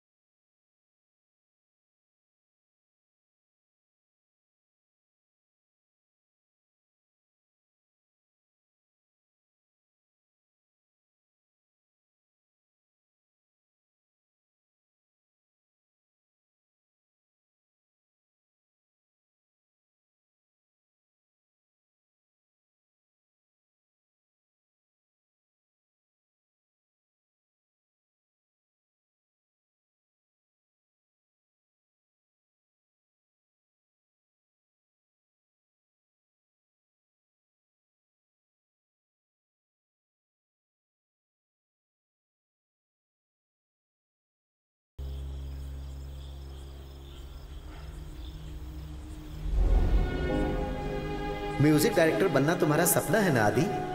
लेकिन मेरा तो ऐसा कोई भी सपना नहीं है। मेरी माँ का ऑपरेशन हो जाए और मेरी दीदी सुरक्षित रहे। उसके बाद अगर मैं मर भी गया तो कोई गम नहीं। आदि मैं तुम्हारी मदद करना चाहती हूँ लेकिन मैं कुछ नहीं कर पाऊँगी। उन दोनों के बीच भी कुछ मुकाबला चल रहा है। उसने नहीं मारा उसे तुमने मारा। वो रेडी को भटकाने की कोशिश कर रहा है। तुम्हें रेडी को सच बता देना चाहिए।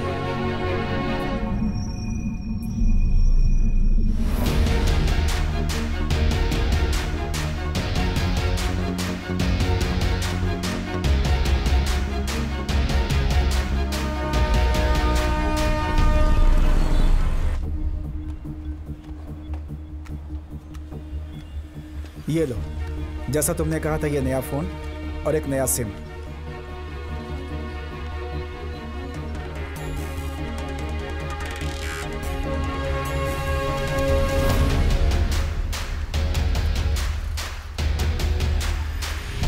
में ऐसा कोई ऑटो ड्राइवर है जिस पर हम विश्वास कर सकते हैं?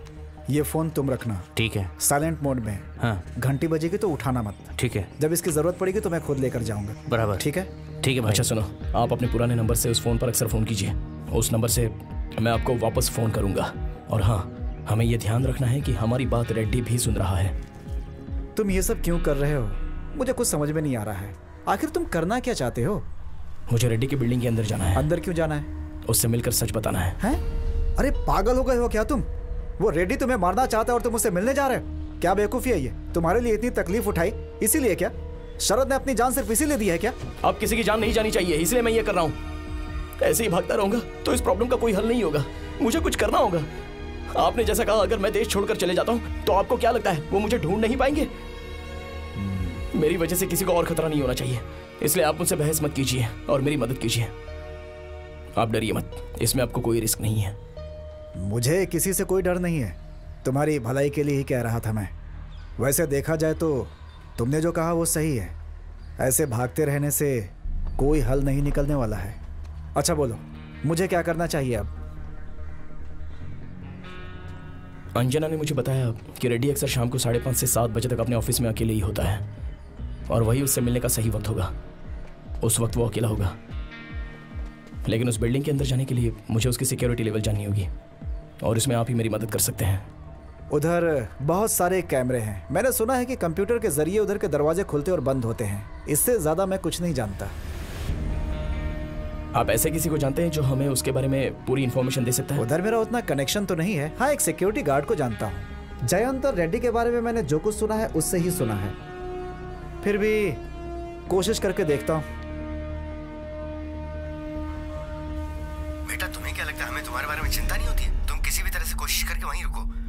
रास्ता तो ज़रूर निकलेगा। मैं वहाँ अभी नहीं आ सकता क्योंकि रेड्डी के आदमी 24 घंटे मेरे पीछे लगे हुए हैं। कोई बात नहीं डैड। आई कैन मैनेज बेटा अभी तुम हो कहाँ? अब भी शरद के घर में हो क्या? नहीं शरद की दीदी ने मुझे घर से निकाल दिया। ओह तो फिर तुम रात कहाँ बिताओगे? मेरी कोई फिक्स जगह तो नहीं है डैड। जहाँ भी सेफ़ लगता है वहाँ सो जाता हूँ। आज मैं कंटोनमेंट एरिया में हूँ।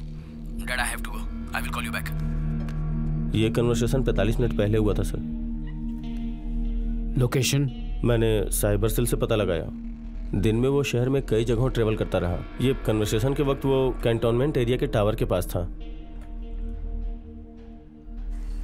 मुझे एक आदमी के बारे में इंफॉर्मेशन मिली है। वो इसी जगह का है और यहीं रहता है। एबिन नाम है उसका। रेड्डी के ऑफ़िस में कंप्यूटर संभालने वाली कंपनी में काम करता था। कुछ छह सात महीने पहले जयंत के साथ उसकी तू तू मैं हो गई। उसके बाद से उसने नौकरी छोड़ दी। आखिर प्रॉब्लम क्या थी? वो तो मैं नहीं जानता। लेकिन उसका नंबर मुझे मिला है। चलकर उससे मिले क्या एक बार? हम उससे यहाँ नहीं मिलेंगे। So it was an accident हाँ जब मैंने सुना कि रेड्डी के बेटे की मौत हो गई है तो मैंने सोचा जयंत ने उसे मारा होगा। He is crooked Abin you carry on okay मैं उसे अच्छे से जानता हूँ। उसकी नज़र रेड्डी की जायदाद पर है। तुम्हारे और जयंत के बीच में प्रॉब्लम क्या हुई थी? रेड्डी के ऑफ़िस के सिक्योरिटी सिस्टम का मेंटेनेंस सपोर्ट मेरी कंपनी को दिया गया था। मेरा काम था टेक सपोर्ट एक बार जयंत ने मुझे बुलाया और उसने मुझसे कहा कि मैं सिद्धार्थ के कंप्यूटर को हैक करूँ। उसने मुझे एक बड़ी रकम ऑफ़र की लेकिन मैं राज़ी नहीं हुआ बिकॉज़ इट्स नॉट एथिकल बदला लेने के लिए उसने मुझे एक झूठे केस में फंसाया।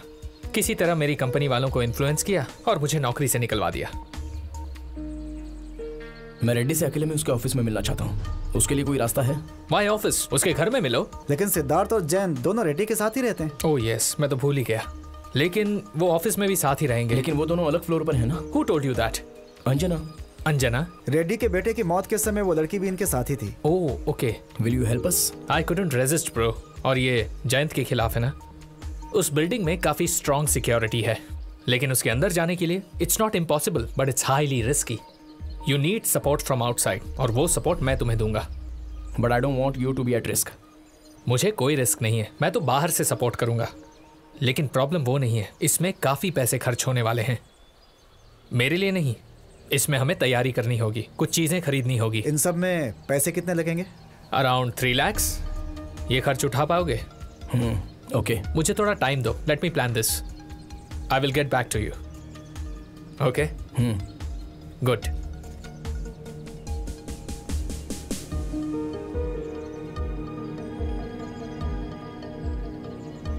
इस पर भरोसा कर सकते हैं क्या? और कोई ऑप्शन भी तो नहीं है। I have done some homework so उस बिल्डिंग का होलोग्राम मेरे पास है। ये बिल्डिंग फुल्ली ऑटोमेटेड है। फ्रंट डोर के अलावा बाकी सभी डोर्स कंप्यूटर के ज़रिए लॉक और अनलॉक होते हैं। उसी तरह उधर का फायर एंड सेफ्टी भी है। ये हाईली मॉडर्न है। हमारे सिस्टम को डिसेबल कर सकता है। ये पूरे बिल्डिंग में हम मैनुअली वाटर स्प्रे कर सकते हैं। हम टैंक से भी पानी को बाहर पंप कर सकते हैं। सभी जगह कैमराज होंगे। That's taken for granted access card के बिना एक डोर भी नहीं खुलेगा और लिफ्ट काम नहीं करेगी। अगर कोई प्रॉब्लम हुई तो नीचे बैठे हुए ये सिक्योरिटी वाले एक मिनट में पूरे बिल्डिंग को लॉक कर सकते हैं। एक्सेप्ट द फ्रंट डोर लेकिन वहाँ सिक्योरिटी है। इस पूरी बिल्डिंग में कितने सिक्योरिटी गार्ड्स होंगे? वो मुझे नहीं पता। अराउंड फोर्टी आई थिंक अगर इस लैपटॉप से मैं उनके सिस्टम को कनेक्ट करता हूँ तो बिल्डिंग का कंट्रोल मेरे पास होगा। पर वहाँ एक प्रॉब्लम है। इस अंडरग्राउंड पार्किंग से इस रूम में हमें पहुँचना होगा। बिल्डिंग के सारे केबल्स इस रूम में हैं। दिस इज़ द ओरिजिन अच्छा। उसी रूम से पानी ऊपर की तरफ़ भेजा जाता है ना? हाँ। उधर टैंकर से पानी पहुँचाने वाला मैं ही हूँ। दैट्स ग्रेट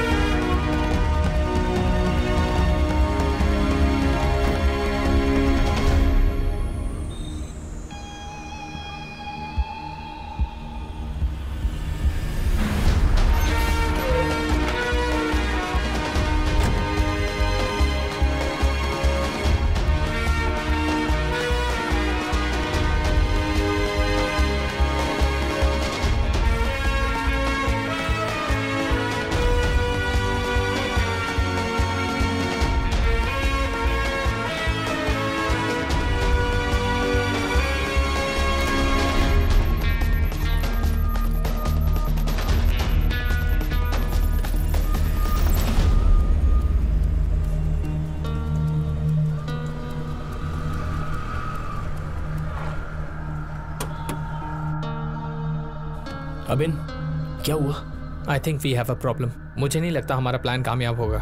हमें सब कंट्रोल्स मिल गए एक्सेप्ट कैमराज सिक्योरिटी कैमराज हाँ हम कैमरा विजुअल्स को चेंज नहीं कर सकते। सिक्योरिटी रूम जो देखेगा हम भी वही देख पाएँगे। बस इतना ही। रेड्डी के रूम में कैमरा है क्या? रूम में तो नहीं है लेकिन रूम के बाहर है।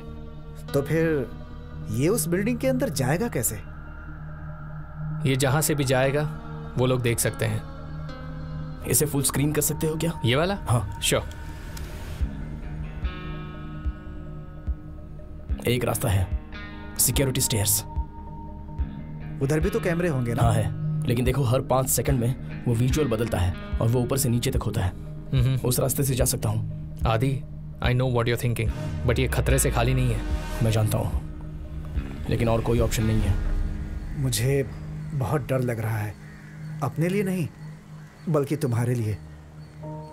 आप डरिए मत मैं सेफली अंदर जाऊँगा। चलो मान लिया। लेकिन रेड्डी को तुम्हारे सच पर यकीन नहीं हुआ तो? आदि ये बिल्कुल सही कह रहे हैं। सपोज़ जैसा हमने सोचा वैसा नहीं हुआ। You must have an exit plan मैं जानता हूँ कि रेड्डी मुझ पे विश्वास करेगा। यकीन से कैसे कह सकते हो? मेरे साथ अंजना भी होगी। वो बोलेगी हाँ। क्या? उसे डर नहीं लगेगा? हम उससे बुलवाएँगे। लेकिन कैसे? मैंने अभी अंजना से बात की है। उसने कहा वो मेरी मदद करेगी। वो रेड्डी से ये बात कह देगी कि अर्जुन की मौत का कारण जयंत ही है। गुड। कुछ तो सही हो रहा है। और डैड ये बात मॉम को बताकर उन्हें टेंशन मत दीजिए। लेकिन बेटा ये बात तुम रेड्डी को कैसे बताओ उसके लिए मैंने एक रास्ता खोज लिया है। संभल कर रहना बेटा।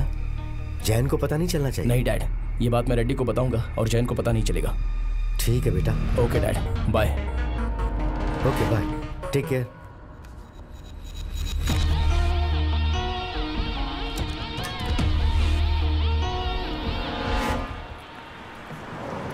Anjana.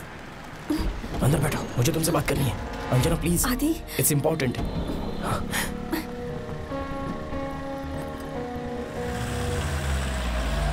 Adi ये तुमने क्या किया? रेड्डी साहब को पता चलेगा तो पता है क्या होगा? हम दोनों ने कोई गलत काम नहीं किया है। फिर तुम डरती क्यों हो?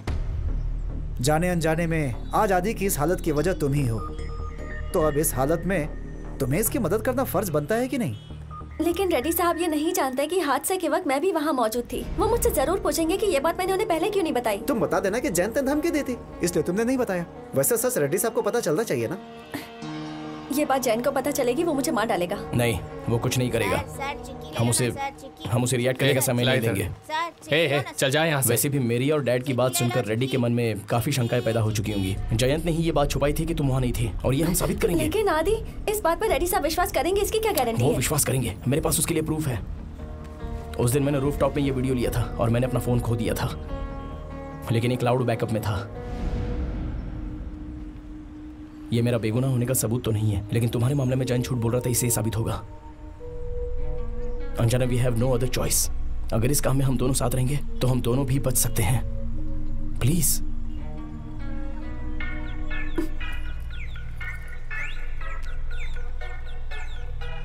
oh god speak of the devil Jain का फ़ोन है मैं फ़ोन नहीं उठाऊँगी। No answer it speaker on करो। हाय अंजना। हाय जयन। कहाँ हो तुम? अ, मैं यहाँ फ्रीडम पार्क में हूँ। अपने एक फ्रेंड से मिलने आई हूँ। ओह दैट्स गुड मैं भी पास में ही हूँ। मैं तुमसे अर्जेंटली मिलना चाहता हूँ। मैं उधर आता हूँ। तुम अपने फ्रेंड को वहाँ से भेज दो ओके हाँ ठीक है। तुम डरो मत। हम इधर पास में ही होंगे। मनी भाई गाड़ी उधर से हटा दो। आदि वो झूठ बोल रहा है। मैं जानता हूँ। इसका मतलब मेरा और डैड का कन्वर्सेशन रेड्डी नहीं जैन ने सुना था। अंजना?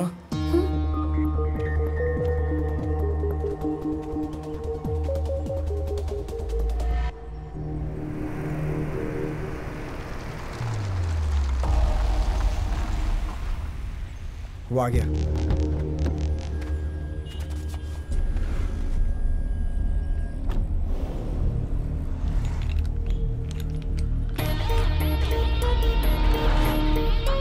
हाय हाय तुम्हारा फ्रेंड चला गया? हाँ।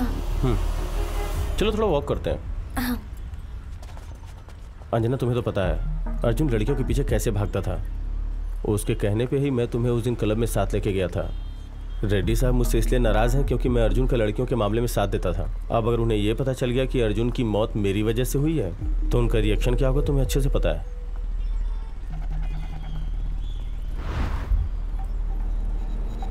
देखो मैं तुम्हारे दोस्त को कोई चोट नहीं पहुंचाना चाहता। आदि बेकसूर है उसने कोई गुनाह किया ही नहीं।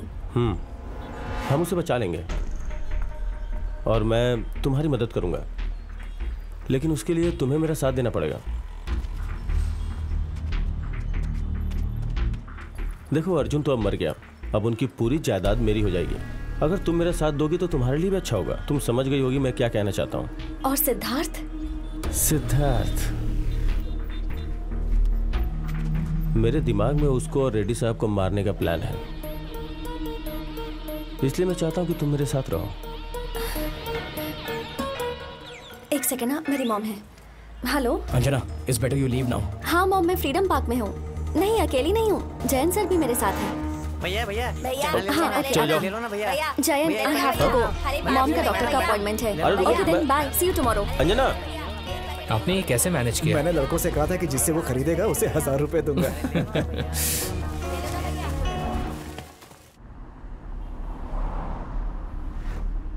उसे पक्का शक हो चुका है। मुझे नहीं लगता कि कि अब मैं ऑफ़िस जा सकती हूँ। तुम अभी तो घर मत जाओ। किसी फ्रेंड के घर पे जाके रह लो। अब हम टाइम वेस्ट नहीं कर सकते। कल ही हमें रेड्डी से मिलना होगा। मैं वहाँ कैसे आऊँगी? कल शाम को पाँच बजे जब तुम ऑफ़िस पहुंचोगी मुझे कॉल करना। मैं जयन को वहाँ से बाहर निकालूँगा। तुम सीधे रेड्डी साहब के ऑफ़िस के फ्लोर पर आ जाओ। मैं वहीं रहूँगा। आदि ये ज़रूरी है क्या? मुझे बहुत डर लग रहा है। अंजना डरो मत। देखो तुम्हें कुछ नहीं होगा। You can trust me on that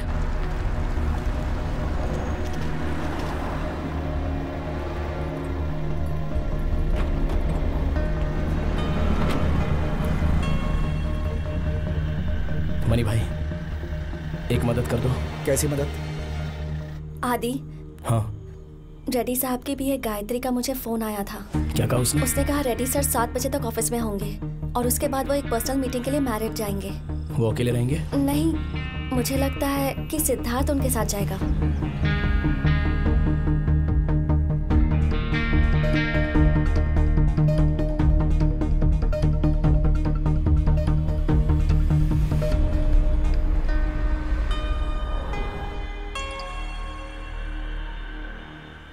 Anjana is on the way. Okay, good. There.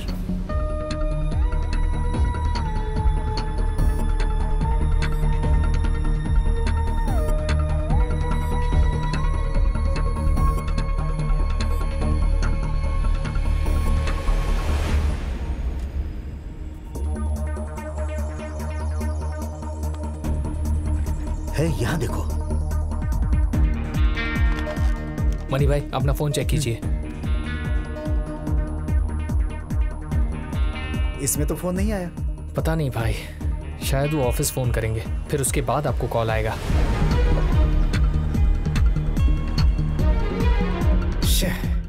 वो लोग फ़ोन क्यों नहीं कर रहे हैं? नेटवर्क है? हाँ फुल है।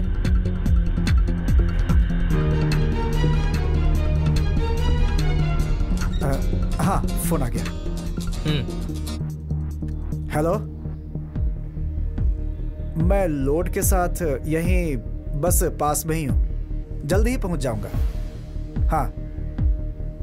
हाँ हाँ। Okay. Hmm. Adi it's time bro okay. क्या हुआ? मुझे डैड से बात करनी है। नहीं बेटा नहीं। तुम अंदर मत जाओ। वहाँ खतरा है। हम कोई और रास्ता ढूंढते हैं। मोहन उसे कहो ना ना जाए। बेटा। मैंने अभी तक आपसे परमिशन लिए बिना कुछ भी नहीं किया डैड। इसमें भी आपसे परमिशन मांग रहा हूँ। आप मुझ पर भरोसा कीजिए। I can do this Mohan इसमें खतरा है। हम उसे यहाँ से कहीं दूर भेज देते हैं। मेरा बेटा ज़िंदा रहे मेरे लिए इतना ही काफ़ी है हाँ। मोहन। मैं उसे बोलता हूँ। आदि। मैं तुम्हें अभी देख सकता हूँ क्या?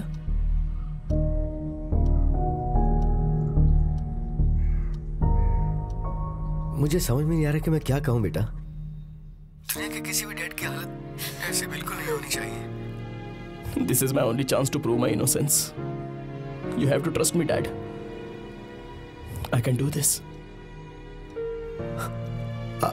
I trust him.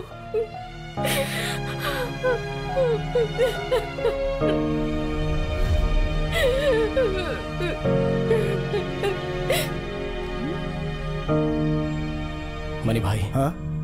चलिए। हाँ। Adi.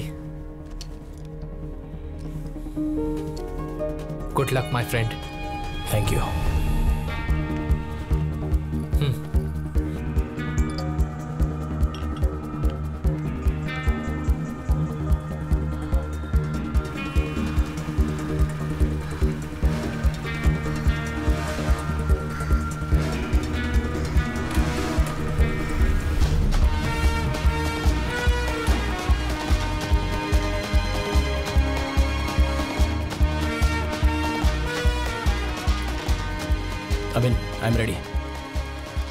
okay now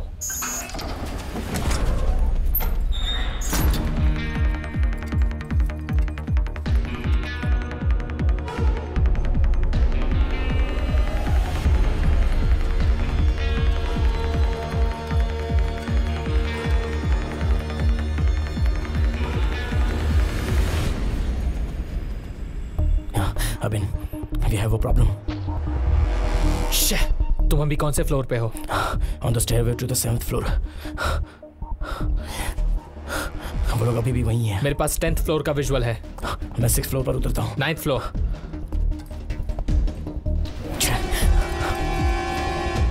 fifth floor से दो सिक्योरिटी गार्ड्स ऊपर आ रहे हैं। एथ फ्लोर। सेवन फ्लोर का जब विजुअल बदलेगा तब मुझे बताना।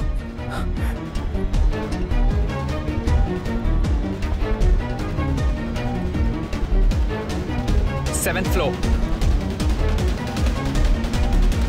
move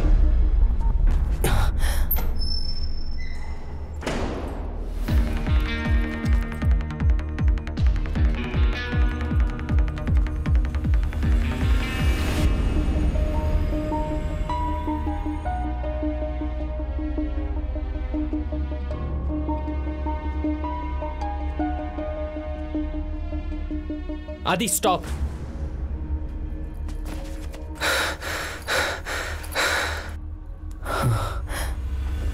Okay, now.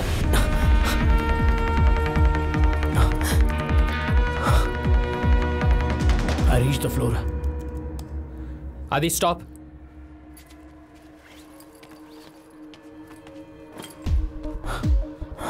Wait, wait. Now, go to your right.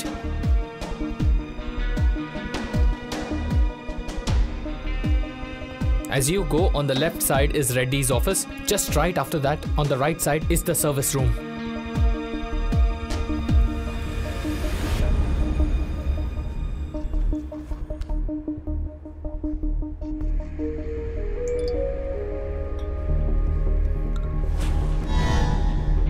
Please get me the bill आदि का मैसेज है हाँ क्या लिखा है डरने की कोई बात नहीं है वो सेफली अंदर पहुंच गया है वो अपने पुराने नंबर पर फ़ोन करने को क्यों करे? मेरा दूसरा फ़ोन किधर है? ये लो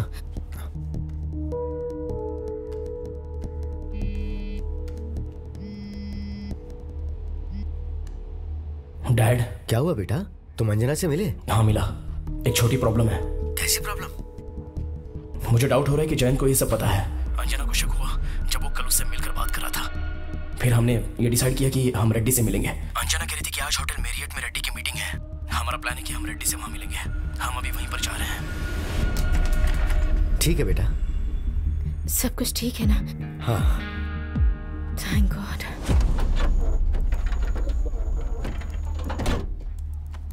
क्या हुआ? सो फार सो गुड हाँ? अभी तक कोई प्रॉब्लम नहीं है। आदि Jayant is going out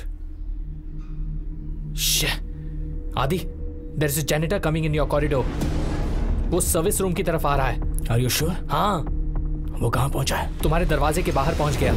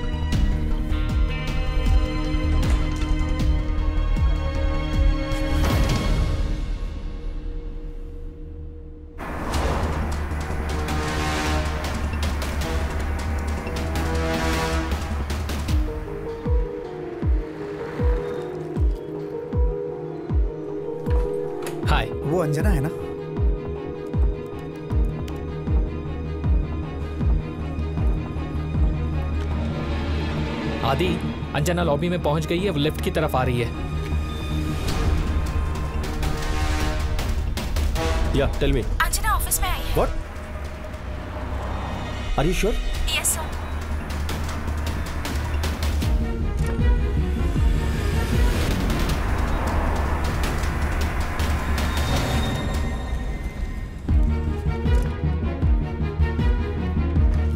Adi she is on your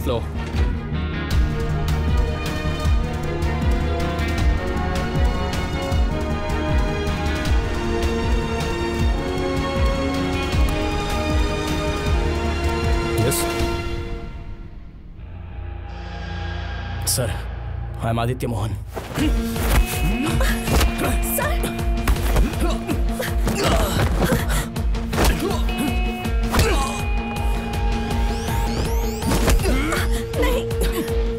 देखिए Reddy sir I didn't do it Adi Jayant building में वापस आ गया है।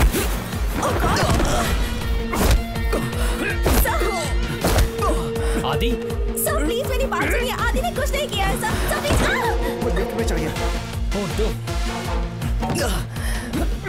प्लीज़ जयंत लिफ्ट में है, उसके पास एक गन है। Sir I didn't do it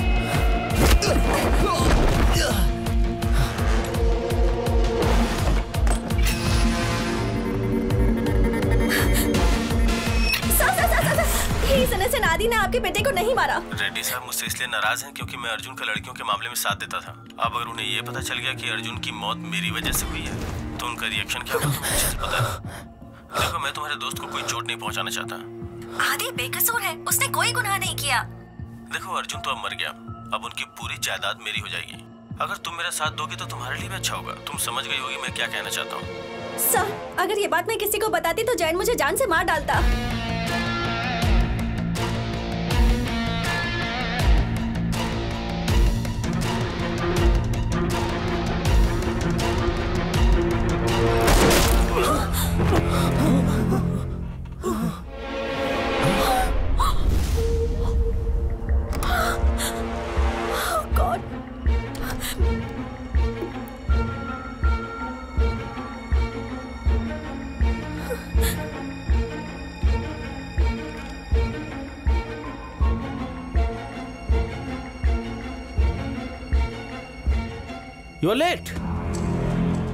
suppose to handle this ये एक खतरनाक प्लान था।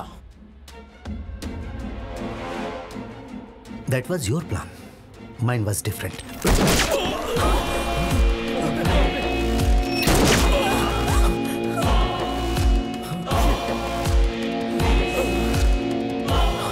surprised जानते हो यह बैंक हमारा था।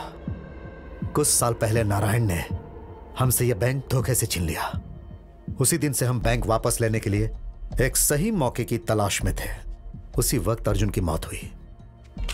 Sir I didn't do it yes I know Jayant ने मुझे सारी बात बताई। जब मामला उसके हाथ से निकलने लगा तो उसने मुझसे मदद मांगी। बेवकूफ़। लेकिन मैंने इसकी मदद नहीं की क्योंकि सात हज़ार करोड़ की जायदाद में मुझे कोई पार्टनर नहीं चाहिए था। Now everything has fallen into place अपने बेटे की हत्या करने वालों को मारते समय नारायण रेड्डी मारा गया। अब तो तुम बस एक फालतू सामान हो। Anjana run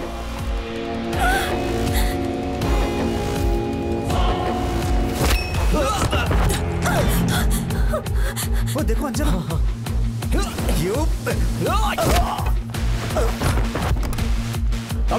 unlock the door.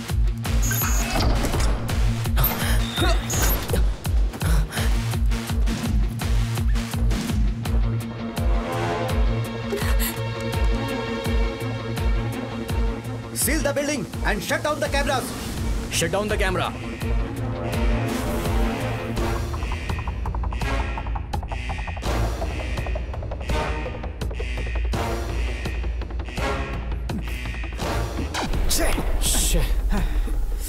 आदि आदि कैमरास बंद हैं I have lost the connection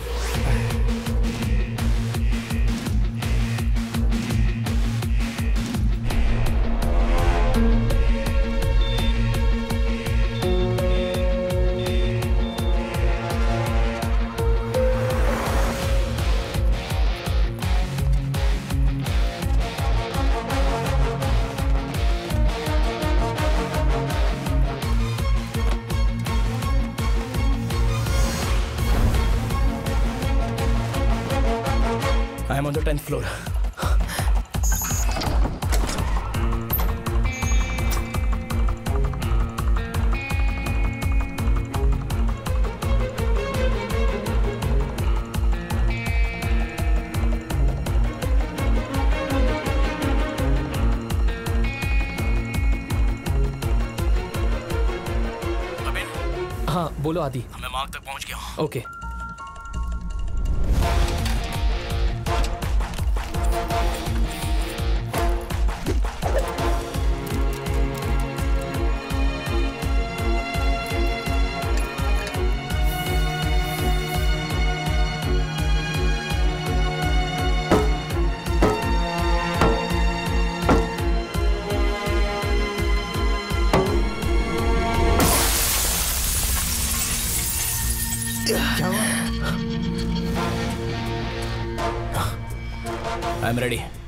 सुनो आदि। ग्राउंड फ्लोर से टेंथ फ्लोर तक की हाइट अराउंड 35.76 मीटर्स है और तुम्हारे रोप की लेंथ 35 मीटर से ज़्यादा नहीं होनी चाहिए। Don't worry I will set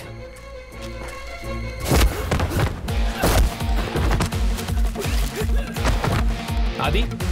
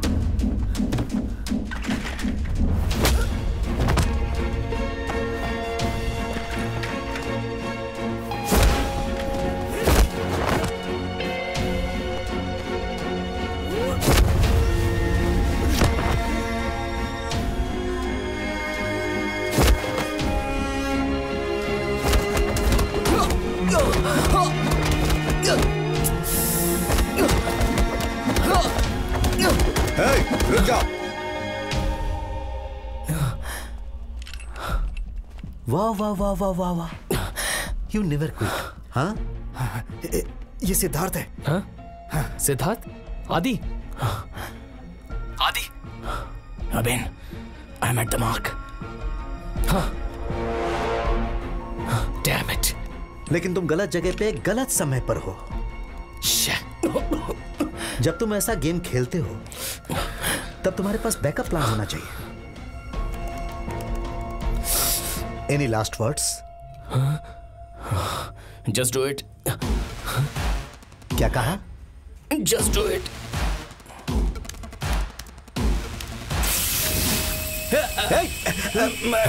ए, ये क्या हो रहा है? चालू हो गया। इधर क्या हो रहा है? जाओ चेक करो। आप एक मदद कीजिए। कैसी मदद? एक टैंकर पेट्रोल अरेंज करा सकते हैं।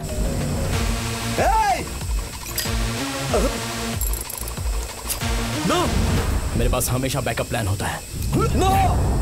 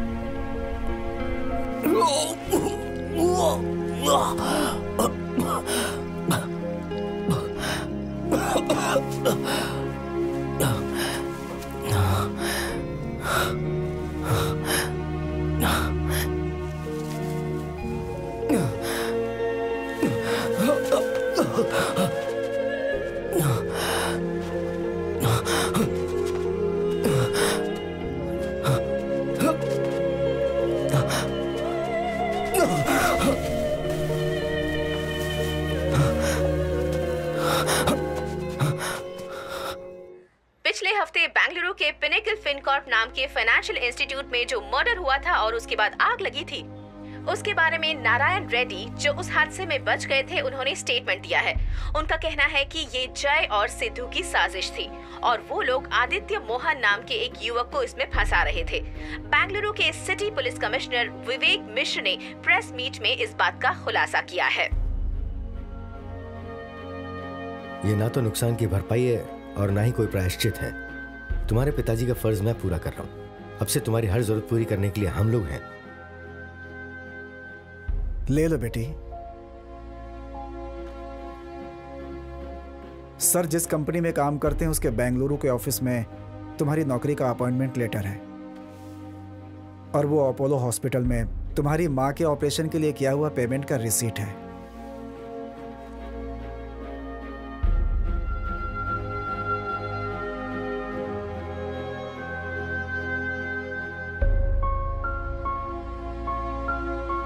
कहाँ है? आदि। उसे लगता है कि तुम्हारा जो नुकसान हुआ वो उसकी वजह से हुआ है और इस कारण वो बहुत दुखी भी है। जब तुम्हारे चेहरे पर वो हँसी वापस लौट आएगी उस दिन वो तुमसे मिलने आएगा ऐसा उसने कहा है।